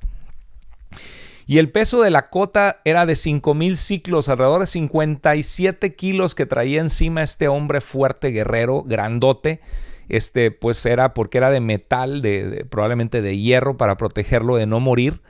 Eh, no, era de bronce, perdón, eh, específicamente el, texto dice 5000 ciclos de bronce, dice el, texto específicamente. Eh, es que los filisteos fueron pioneros en desarrollar el uso del hierro en la guerra, por eso, por eso me confundí en mi mente, porque una de las ventajas militares de los filisteos es que tendían a utilizar eh, armas de hierro, mientras que Israel tenía las armas de, bronce, que eran las que se utilizaban. Y bueno, este, dice en 1 Samuel 17, 6, dice, tenía también grebas, es una armadura que protege la pierna, de bronce y una jabalina de bronce colgada entre los hombros. El asta de su lanza era como un rodillo de telar este, que se utilizaban pues para enrollar la tela, para hacerse vestidos. Y la punta de su lanza pesaba 600 ciclos, que es alrededor de 6.84 kilos de hierro. Aquí vemos ya una punta de lanza de hierro, no de bronce, más maciza. Y su escudero iba delante de él. Hasta escudero tenía el guerrero gigante. Estaba bien difícil esto para David, ¿eh? Un guerrero gigante fuertísimo y encima hasta escudero tiene, ¿cómo lo matas? Mira, esta es una lanza que se encuentra en el Creation Museum, me, me parece, que es una lanza que la reprodujeron más o menos como sería la lanza de Goliat. Ahí podemos ver a la izquierda una pareja que está sosteniendo la lanza altísima con la punta de hierro de, de, 6 kilos. Entonces una, un tremendo este, hombre grande era Goliat. Recuerdo que cuando era pequeño, no sé si te pasó lo mismo a ti, escuchaba la historia de David y Goliat y yo lo mezclaba con historias infantiles que había escuchado eh, siendo un niño, como por ejemplo Pulgarcito y el gigante y veía los cuentos de donde se, se pintaba a los gigantes, se dibujaba a los gigantes como, como extremadamente grandes, como el tamaño de una casa o más altos que una casa. Entonces cuando veía que David el gigante, pues asociaba como niño que probablemente Goliat era un gigante así como el de la caricatura de Pulgarcito. Hay algunos que, que, gigantes que se han visto en libros de niños enormes y la gente le llega apenas a la rodilla o, o, este, o por ejemplo, este, vemos que está el gigante enorme y la persona está chiquita y el gigante la puede agarrar en su mano y hasta se la puede tratar de comer a la persona en su boca. Entonces pensamos en los cuentos de niños que mencionan que muestran gigantes enormes, este, como esta foto alterada donde vemos a un hombre entre las piernas de un hombre gigantesco, ¿no? De un gigante este súper grande. Este, pero en realidad la Biblia, cuando nos habla del el gigante David y Goliat, no está hablando de este tipo de gigantes, porque nos da la estatura específica de alrededor de 3 metros de altura. Por ejemplo, a mí me gusta mucho el básquetbol, no sé qué deporte te gusta a ti, pero el básquetbol lo jugué como por 5 años de mi vida y seguía a los jugadores y me acuerdo que en mi época había un jugador muy alto, Manute Bol se llamaba, un, un jugador de básquetbol africano. Y por ejemplo, Yao Ming fue un un jugador chino eh, eh, sumamente alto, de 7 pies y 6 pulgadas, que son alrededor de 2 metros, de 2.29 metros Yao Ming. Eh, por ejemplo, Manute Bol, que les comentaba, aquí está una, una foto de Manute Bol, el jugador más alto de la NBA en ese entonces, con el jugador más chiquito de la NBA, que se llamaba Maxi Bogues, que jugó también para los Charlotte Hornets por mucho tiempo. Este, y vemos aquí pues la enorme estatura entre Maxi Bogues, el jugador más pequeño de la NBA de básquetbol, y el jugador más, más alto, Manute Bol, de 7 pies y 7 pulgadas, 2 metros 31. Había otro jugador este, que se llamaba George Muresan, que también medía 7'7, 2 metros 31. Ahí está jugando contra Michael Jordan en esa foto. También hay un jugador que se llama Sun Ming Ming, Sun Ming Ming Ming, que mide 7 pies y 9 pulgadas, un gigante de verdad, 2 metros 36 centímetros. Y ahí vemos al lado a un actor muy conocido, Dwayne Johnson The Rock. No sé si has visto algunas películas de Dwayne Johnson The Rock, que fue un peleador de, un, este, luchador de la lucha libre norteamericana de la WWE. Este, creo que este World ah, ya se me olvidó cuáles son las siglas, pero creo que esas son las siglas. Pero era un jugador de la lucha libre americana. Este, y vemos que este hombre de Rock mide un metro 93 centímetros. Está altísimo Dwayne Johnson, muy alto, 6'4". Eh, la mayoría de nosotros, si nos pusiéramos al lado de, Dwayne Johnson, de Rock, nos veríamos pequeños a su altura. Sin embargo, Dwayne Johnson ante el gigante Sun Ming Ming se ve pequeño, se ve chiquito. Vean esta diferencia. Aquí lo vemos. Le llega, muy apenas le llega al pecho. Siendo un hombre de un metro noventa y tres, casi dos metros de altura, le llega apenas a al pecho a, este jugador chino. Impresionante, ¿verdad? Entonces podemos darnos una idea de cómo se podría haber visto la diferencia con Goliat en la Biblia. Hay otro este hombre que se llamó Sultán Kosen de Turquía, que tuvo el récord Guinness del hombre más alto del mundo en un tiempo, 2 metros 51, 8 pies 3 pulgadas, y ahí lo vemos con el hombre más chiquito del mundo, e, e, extremadamente grande este, a ver si agrando la foto, Sultán Kosen. Y vemos también a Robert Watlow, que eh, era un hombre altísimo en Estados Unidos, 2 metros 72, medía 8 pies, 11 pulgadas. Este 2 metros 72 de, de altura, Robert Wadlow. Y hay el que tiene el récord que hasta ahorita he encontrado del, del, hombre más alto del mundo, se llama Sulemana Abdul Samet, que es un ganés del país de Ghana en África, que mide 9 pies y 6 pulgadas. 2 metros 89. Señores y señoras, hermanos y hermanas en Cristo, estudiantes del seminario, aproximadamente esta era la altura del gigante Goliat en la Biblia, la, altura de 9 pies y 6 pulgadas. Eh, la mayoría de las traducciones de la Biblia afirman que medía más de 9 pies de altura, eh, usando las medidas eh, de Estados Unidos y de Inglaterra y de otros países ingleses pero en medida métrica era casi 3 metros de altura. 6 codos y un palmo.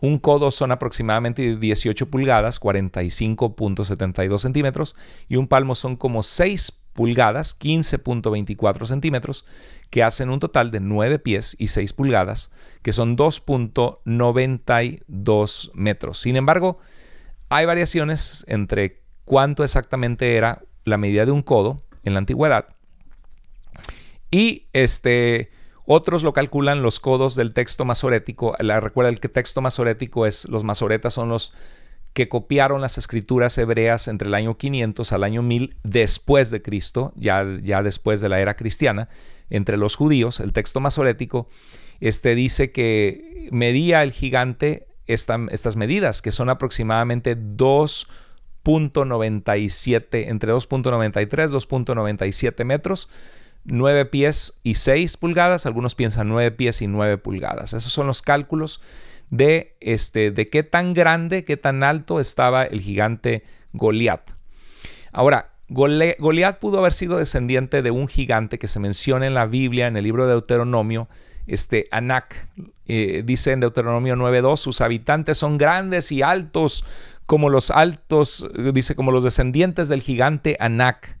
¿Quién puede hacer frente a los descendientes de Anac, los anaseos? Pues probablemente o David tuvo un problema en su glándula de crecimiento y, y creció sin parar y tenía una deformidad en ese sentido de un problema médico y era un verdadero gigante fuerte, o, o, era un descendiente de, de, los anaseos, que puede ser, ¿no? Este, de estos antiguos gigantes que se mencionan en la Biblia. Ahora, es interesante que existe una variación textual en eh, algunos textos de la traducción del hebreo al griego, conocido mejor como la Septuaginta, que registran la altura de Goliat de cuatro codos y un palmo. O sea, en vez de seis codos, lo, reducen su altura dos, dos, codos, o sea, 90 centímetros menos de lo que de los tres metros. Entonces, 6 eh, a 9 pulgadas. Eh, entonces, son un, palmo son entre 6 a 9 pulgadas. Entonces, le dan la altura a Goliat, según este texto de la Septuaginta, entre 2 metros a 2 metros y 6 centímetros. Entonces, si David medía el promedio de estatura de su época, los expertos creen que David pudo haber medido 5 pies y 2 pulgadas, que equivalen a 1.57 metros. David no era, la gente de la antigüedad no era tan alta. El que era muy alto era Saúl, que la gente le llegaba, los israelitas le llegaban al hombro muchos. Saúl era muy alto, David era normal. Entonces David pudo haber tenido un metro 57 de estatura o 5 pies y 2 pulgadas. Eso significa que, a, ver, y esto está raro, ¿no? ¿Por qué hay estas variantes, hermano? Porque los textos se copiaban a mano. Los textos no había imprenta, no había computadoras para que el texto quedara sin tocarse, sino que tenía que ser copiado por escribas letra por letra por letra un gran texto. Y eso hizo que en la copia de los textos pueda haber ciertas diferencias de errores de los copistas. Entonces, eh, es probable, si, si, si la variación textual de la Septuaginta fuera correcta, se, lo tengo, se los tengo que compartir porque esta es una clase académica de conocer las escrituras, de conocer Primera de Samuel. Entonces le llevaría 43 a 49 centímetros. O sea, que lo más chiquito que pudo haber sido Goliat, o sea, Goliat o medía casi 3 metros o medía 2 metros y 6 centímetros. Entonces, y nosotros, algunos se pueden desilusionar, ah, yo pensaba que era un gigante. Eso es un gigante, y más para la época antigua. Entonces, le llevaría 43 a 49 centímetros. Y casualmente estaba viendo eh, buscando en, Google la altura de, Dwayne The Rock Johnson, que les dije que era un metro 93, y la, altura de esta foto que se tomó con este jugador de básquetbol, este Sun Ming Ming. Y, me di cuenta que, que Sun Ming Ming le lleva 43 centímetros de altura a, a The Rock Dwayne Johnson. Entonces es interesante porque ahorita vamos a ver una foto otra vez pero la medida de un codo también no es precisa, se basaba en la distancia desde el codo de una persona hasta la punta de su dedo, se los había comentado. Pero aquí está la foto de Dwayne The Rock Johnson. Entonces imagínese a David, imagínese que Dwayne The, Rock Johnson fuera David y que Sun Ming Ming fuera el gigante Goliat. Si pones a David con alguien que le lleva 43 centímetros o 46 centímetros, todavía tres más, te darías cuenta que sí, definitivamente era un gigante. Era un gigante Goliat. Si la versión de la Septuaginta fuera la correcta, ¿no? De, esos variantes textuales. Y encontré una foto de uno, de un hombre que, que le dicen Thor, un competidor de Islandia que compite en, fuerza, que tiene una novia que mide 5'2 y él mide 6'9. Más o menos así sería la, la distancia. Vemos a este hombre con su novia más o menos a esa altura le, llegaría David al gigante Goliat. Si fuera cierto la versión de que Goliat era más pequeño de lo que pensábamos, ¿ok? Sigue siendo un gigante, porque, y sobre todo si todos medían esa distancia con, con este Saúl, con, perdón, con David. Entonces, hay otras fuentes que corroboran la medición más corta del gigante Goliat, incluido un texto hebreo entre los rollos del Mar Muerto. Qué interesante, ¿no? Entre los rollos que se descubrieron en 1947, esta comunidad da la, versión de un Goliat más pequeño que el, que el Goliat de tres metros. Este, y los escritos del historiador judío Flavio Josefo también. Hay una Biblia en inglés que se llama New English Translation, la, la nueva traducción inglesa, y este esta Biblia la tengo aquí, la, busqué el texto para corroborarlo y va con la altura más corta diciendo que Goliat medía cerca de siete pies de altura, dice en, inglés, close to seven feet, ¿no? De siete pies de altura. Y esto lo dice eh, la, la, New English Version, esta versión nueva inglesa en Primera de Samuel 17, 4. Dice que medía casi siete pies, pero la, versión tradicional es que medía más de nueve pies. Bueno. El Antiguo Testamento fue escrito en hebreo y la diferencia puede deberse a cómo se tradujeron las medidas al griego por la Septuaginta. Pero bueno, independientemente de la altura que haya tenido el gigante Goliat, Goliat fue, hermanos, un gigante. Y, pudo ser que fuera un gigante de tres metros, claro que sí, como dice el texto masorético y como dicen nuestras Biblias actuales, tratando de, hablar de los seis pies y, el palmo del tamaño que tenía Goliat. Y también fue un fuerte guerrero. David fue armado solo con una onda, una, eh, arma hecha con una porción de piel, con tela, que giraba con gran fuerza y disparaba una piedra para ahuyentar David a los, a los coyotes, a los lobos, a los animales que querían comer sus ovejas. David solamente tenía una onda, unas pocas piedras, pero tenía gran fe en el poder de un gran Dios y lo derrotó y salvó a Israel. Y es una tremenda lección, ¿no? ¿Cuántas predicaciones ha habido que, que nos hablan de, de de poder derrotar los gigantes en nuestra vida, aunque el texto no está ahí para hablar de eso, pero es verdad, David enfrentó a un tremendo desafío con el poder de Dios y con la fe, con, con y, fueron las dos cosas. ¿eh? Fue Dios usó su destreza, Dios usó los años de práctica, los años de fidelidad cuidando las ovejas, Dios los, lo usó para derrotar a un gran gigante. Así que sé fiel en lo poco en donde Dios te ha puesto. Y dice en 1 Samuel 17:33, cuando él, él, él le dice a Saúl que él quiere enfrentar al gigante, le, dice, no puedes ir tú solo a luchar contra ese filisteo, pues está enorme, tú estás chiquito, él está grande. Estamos hablando que David es un, muchacho de 16, máximo 17 años de edad, o 15 años, eh, eh, alrededor de entre 16 y 17 años de edad. David eh, es ungido como rey y 15 años después es rey, como a la edad de 32 años. Y aquí es solo un jovencito que está dispuesto con la fe en Dios de enfrentar a un gigante. Y dice, contestó, Saúl le dijo, no puedes luchar contra este filisteo, porque aún eres muy joven, en cambio, él ha sido hombre de guerra desde su juventud. ¿Qué edad tendría Goliat? No sabemos. Tendría 30 años de edad, que todavía está fuerte, o 28, y había sido un guerrero desde los 13 años, 14. Entonces le dice, e-, era un hombre que sabía pelear.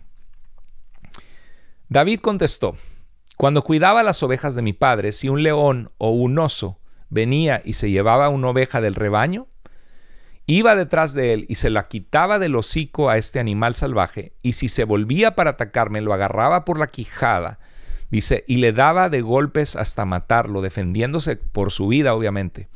Así fuera un león o un oso, este servidor, su majestad lo mataba. Y David se volvió muy diestro en la guerra, ¿eh? tenía grandes victorias militares, y todo comenzó siendo fiel cuidando las ovejas.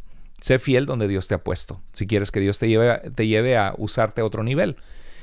Primera de Samuel 17:36 dice, y a este filisteo pagano le va a pasar lo mismo porque ha desafiado al ejército del Dios viviente. Dice, yo mataba a los osos y, leones que querían eh, destruir a mis ovejas y que querían atacarme. Y a este filisteo incircunciso que no está bajo el pacto con el Dios verdadero de Israel, le va a pasar lo mismo. Dios lo va a entregar en mis manos. El Señor que me ha librado de las garras del león y del oso, también me librará de las manos de este filisteo. Tremendas palabras. Que es que uno lee 1 Samuel, hermano, y te inspiras. Dices, wow, qué valentía. Le hubiéramos entrado nosotros. Da miedo. ¿Cómo te vas a enfrentar a un gigante, no? Pero David sabía tenía, tenía celo por Dios, le, le, le, calaba en su alma que estuviera pasando esto y, y él sabía que algo tenía que hacerse. Y así pasa el llamado de Dios también, no es fácil, pero muchos con valentía dicen, no, es que la gente tiene que saber de Dios.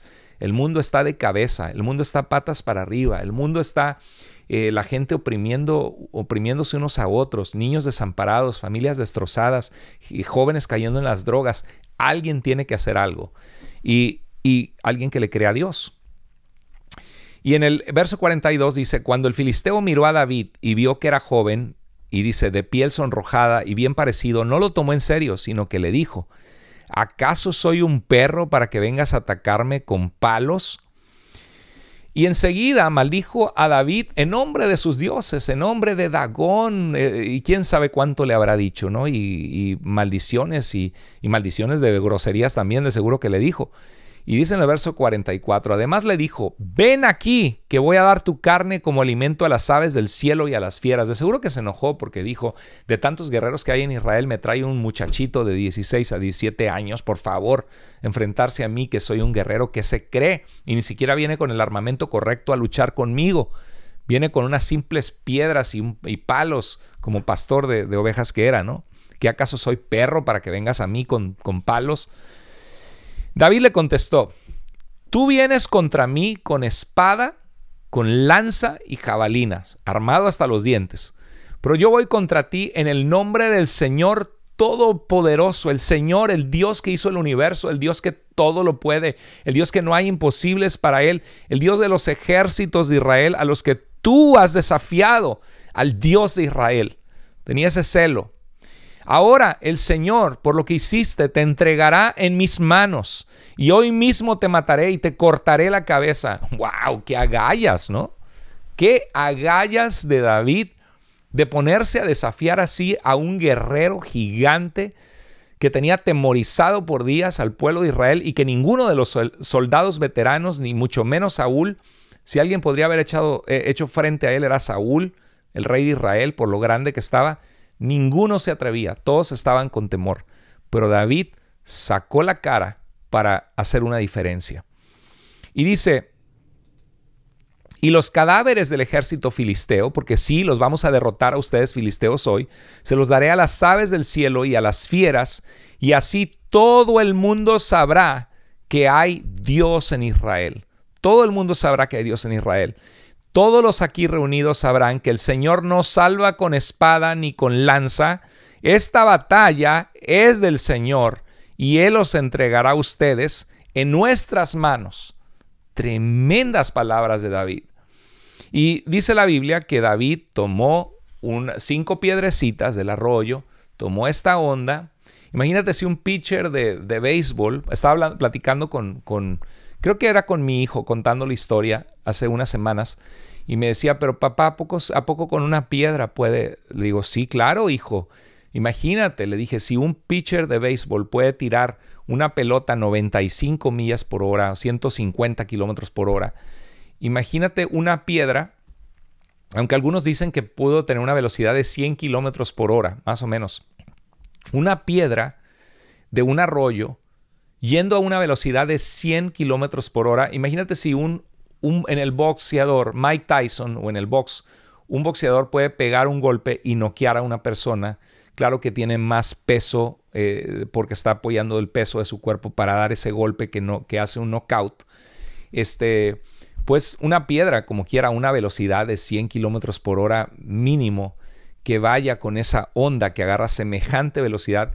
Y David lo tenía bien ensayado, porque estoy seguro que mientras cuidaba las ovejas había practicado para que si venía un lobo un león o un, este, un cougar o un, una, un puma a querer comer a sus ovejas, salvar a sus ovejas. David había practicado y practicado. Estoy seguro que le había dado al árbol y había dicho, ahí le quiero dar, y le daba y le daba, y sabía que era bueno. Él sabía que era bueno en lo que hacía. David no llegó allí sin preparación. Por eso estás en el seminario bíblico en línea, preparándote para que cuando Dios te presente la oportunidad, Dios use tu vida porque el éxito es preparación más oportunidad. Se puede abrir la oportunidad de servir a Dios, pero si no estás preparado vas a reprobar la oportunidad. Pero también, si, si, estás preparado y no se te abre la oportunidad o no la buscas, pues también no vas a tener éxito en lo que quieres hacer. El éxito es preparación más oportunidad. Y esto que estás haciendo de capacitarte en el seminario bíblico en línea es estar preparada o preparado para, para conocer las escrituras, para tener un sentido de entendimiento de qué tratan, para que, para que puedas conocer el carácter de Dios, la verdad de Dios, la revelación de Dios, y cuando enseñes, enseñes bien. Y cuando lideres, lideres con la sabiduría de la palabra de Dios. Todo esto, nada de esto, querido hermano, es en vano. Dios te está preparando para lo que Él tiene para ti y que Él sabe. Entonces dice que tomó esa piedra. Ahora, ¿cómo mató David al gigante? Muchos dicen, ah, lo mató con una piedra y una onda. No, no lo mató con una piedra y una onda. Primero, la piedra lo noqueó, le dio en la frente, eh, se le incrustó en la frente. Imagínate un accidente terrible, sangre, inflamado la, la frente de este gigante. Imagínate que tenía un escudero y tenía una lanza y venía súper protegido, no le iba a matar en ninguno de los órganos vitales, pero en la frente, ahí le dio y ahí cayó al piso. Entonces corrió David, le quitó su espada y con su espada le cortó la cabeza. Yo creo que todos se han de haber quedado oh, un silencio, ¿no? ¿Qué pasó aquí? Y debe haber, hasta en el ejército de Israel debe haber habido un, un silencio momentáneo de no poder creer lo que estaba pasando y lo que Dios había hecho con un jovencito que le creyó a Dios, que tuvo celo por la injusticia y dijo esto no está bien, yo voy a hacer algo al respecto y Dios me va a ayudar. Y David tenía fe en Dios, pero también vino preparado porque sabía que él podía usar esa onda muy bien. Por eso tomó cinco piedras. Entonces, eh, tremenda historia, de verdad, por eso ha trascendido como una de las historias más impactantes de la Biblia. Y David tomó la espada de Goliat noqueado y cortó su cabeza. Este, y fue, y entonces el pueblo, pues, eh, eh, irrumpió en, para perseguir a los filisteos. Cuando David dice 1 Samuel 17, 57, ¿qué, ¿qué, habrán pensado sus hermanos? Eh? Eliab, el que dijo, ¿y qué vienes aquí de chismoso? Yo bien que conozco tus intenciones. No conocían nada, estaban mal juzgando a David.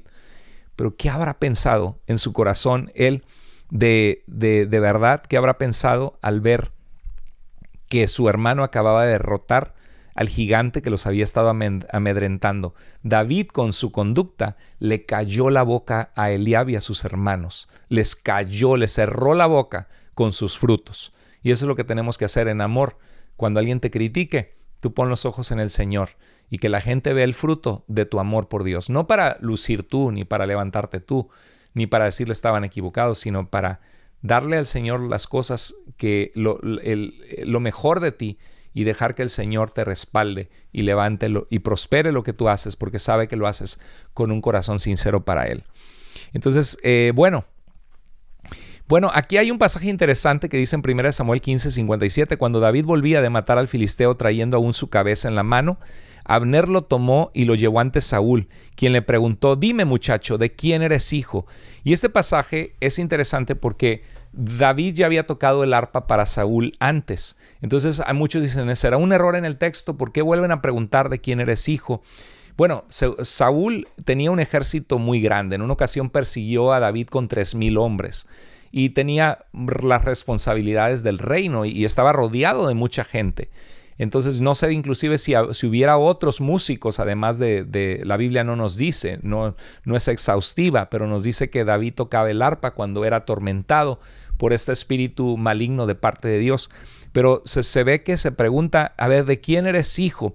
Y puede ser porque lo que Saúl había prometido darle al que derrotaba al gigante Goliat era darle a su, en, en matrimonio a su hija. Y quizá por eso era Quizá no, algunos piensan, no, es que ya sabía quién era David, lo identificaba, pero quería ver quién era su padre, ¿no? O se le, se le había olvidado que se llamaba Isaí cuando fueron a buscarlo. Y, quería saber, bueno, de quién eres hijo, porque te voy a dar en matrimonio a mi hija, ¿no? Vas a ser el, el yerno del rey. Este, pero bueno, es un, es un, pasaje que ha sido, que ha levantado en algunos la duda de por qué, por qué vuelven a preguntar quién es David cuando yo lo, ya lo conocían en el capítulo 16. David respondió, soy hijo de Jesse o de Isaí, el de Belén, servidor de su majestad. Y bueno, acuérdense que en el, capítulo anterior decía, pues busquen a alguien que sepa tocar bien y tráiganme, contestó Saúl. Entonces uno de ellos dijo, yo he visto a uno de los hijos de Jesse, el de Belén, sabe tocar muy bien, además es un guerrero valiente y habla con sensatez. Es bien parecido y cuenta con la ayuda del Señor. Muy interesante, ¿no? Porque vemos ahí la fidelidad de cómo David en lo que hacía lo hacía bien hecho. Si quieres que Dios te use con poder, sé fiel en lo poco. Como dice el Nuevo Testamento, sobre poco has sido fiel, sobre mucho te pondré, entra en el gozo de tu Señor. Bueno, eh, qué interesante. déjame tus comentarios, cómo está haciendo de bendición esta historia, cómo te ha motivado, cómo te ha ayudado. Es verdaderamente preciosa la palabra de Dios y, tan llena de sabiduría. Recuerda que Romanos 15 nos dice que las cosas que antes escribieron para nuestra enseñanza se escribieron para que por la por la que a través de las escrituras nosotros podamos tener esperanza en nuestras vidas. Y es importante que, tomemos estas historias y, las exprimamos de, de, la sabiduría que nos arrojan en cuanto a la relación del hombre con Dios, en cuanto al liderazgo Espero que esta clase te haya motivado, te haya ayudado a, poder crecer en la fe. Y vamos a, vamos a dejar esta clase eh, en, esta, en esta sección. Nos quedamos picados de saber qué es lo que va a pasar, nos quedamos con ganas de saber más porque ciertamente es una clase preciosa que Dios tiene para nuestras vidas, que podemos aprender mucho. Y mi deseo es que aprendas a conocer el contenido de Primera de Samuel y de la primera parte del libro y la segunda parte para que eh, los dos libros de Samuel, para que puedas enseñarlos bien cuando te toque predicar, pero sobre todo también que inspiren tu vida para vivir para Dios y que te ayuden también a enseñar a otros que comienzan en el, ministerio con la sabiduría de Dios. Hubiera sido una falta de sabiduría ver solamente rápidamente Primera de Samuel y que no entremos un poquito, que podamos exprimir su contenido y masticarlo y poder... Eh, poder eh, meditarlo, reflexionarlo eh, para que pueda ser eh, llenarnos de sabiduría en nuestros llamados en el ministerio. Vamos a continuar viendo en la siguiente clase y vamos a, vamos a continuar viendo el primera de Samuel, la tercera parte, y vamos a ver también, vamos a continuar con el, el, segundo libro de Samuel, pero eh, lo, que, lo que vimos hoy es, eh, veamos lo que vimos, cumple tu llamado, cumple con tu llamado y culmina bien.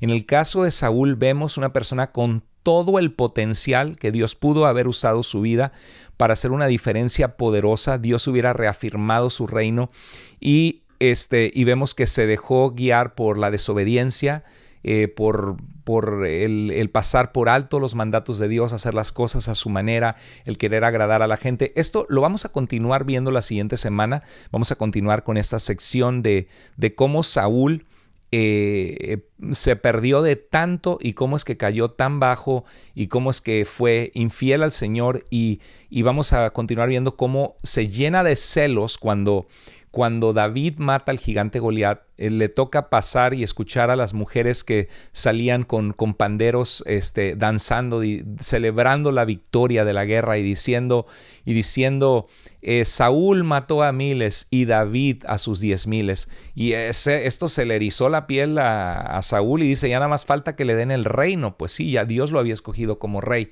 Pero vamos a continuar viendo cómo la mente macabra, decimos, la mente diabólica de, Saúl eh, trata de ponerle trampas a David eh, y, de, y de interrumpir el llamado de rey que Dios le había dado.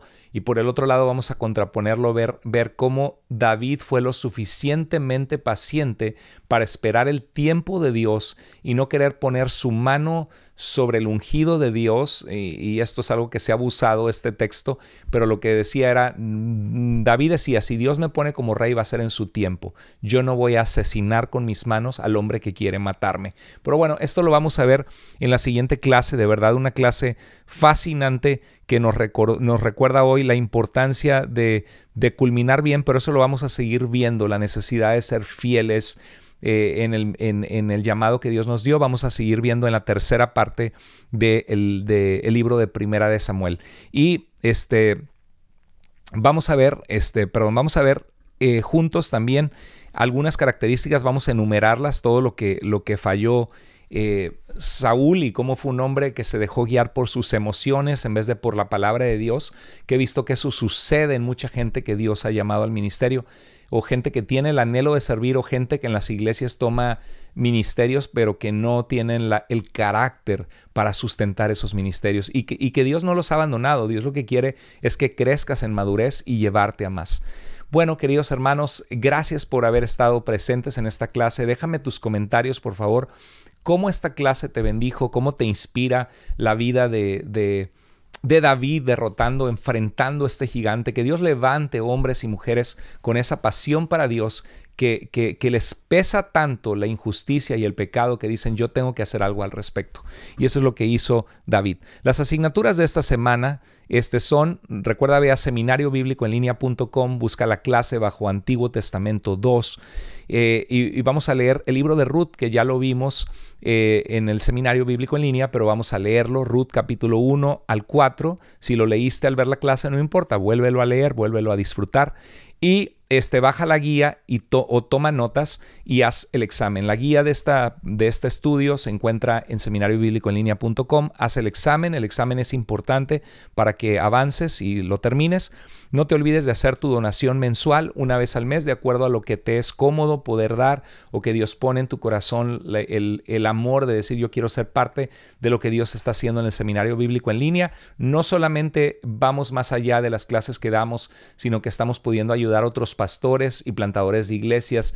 Entonces que Dios nos ayude a hacer algo hermoso a través de este ministerio juntos, porque es un ministerio que nos pertenece a todos, que estamos haciendo para el Señor, aquellos que que se sienten parte y aquellos que, están aprendiendo y que saben que esta es una herramienta que Dios puso para, para que te equipes.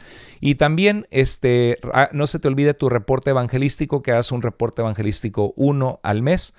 Y bueno, ya algunos de ustedes ya han leído el panorama del Antiguo Testamento, la, eh, sobre el libro de Primera de Samuel. Y bueno, estas son las asignaturas para esta semana. Espero que estén muy bien, que Dios les bendiga, les guarde, sigan adelante con los ojos puestos en Jesús y dejen sus comentarios cómo esta clase fue de bendición para tu vida. No se te olvide hacer el examen en la página oficial. Que Dios les guarde y bendiga. Hasta luego.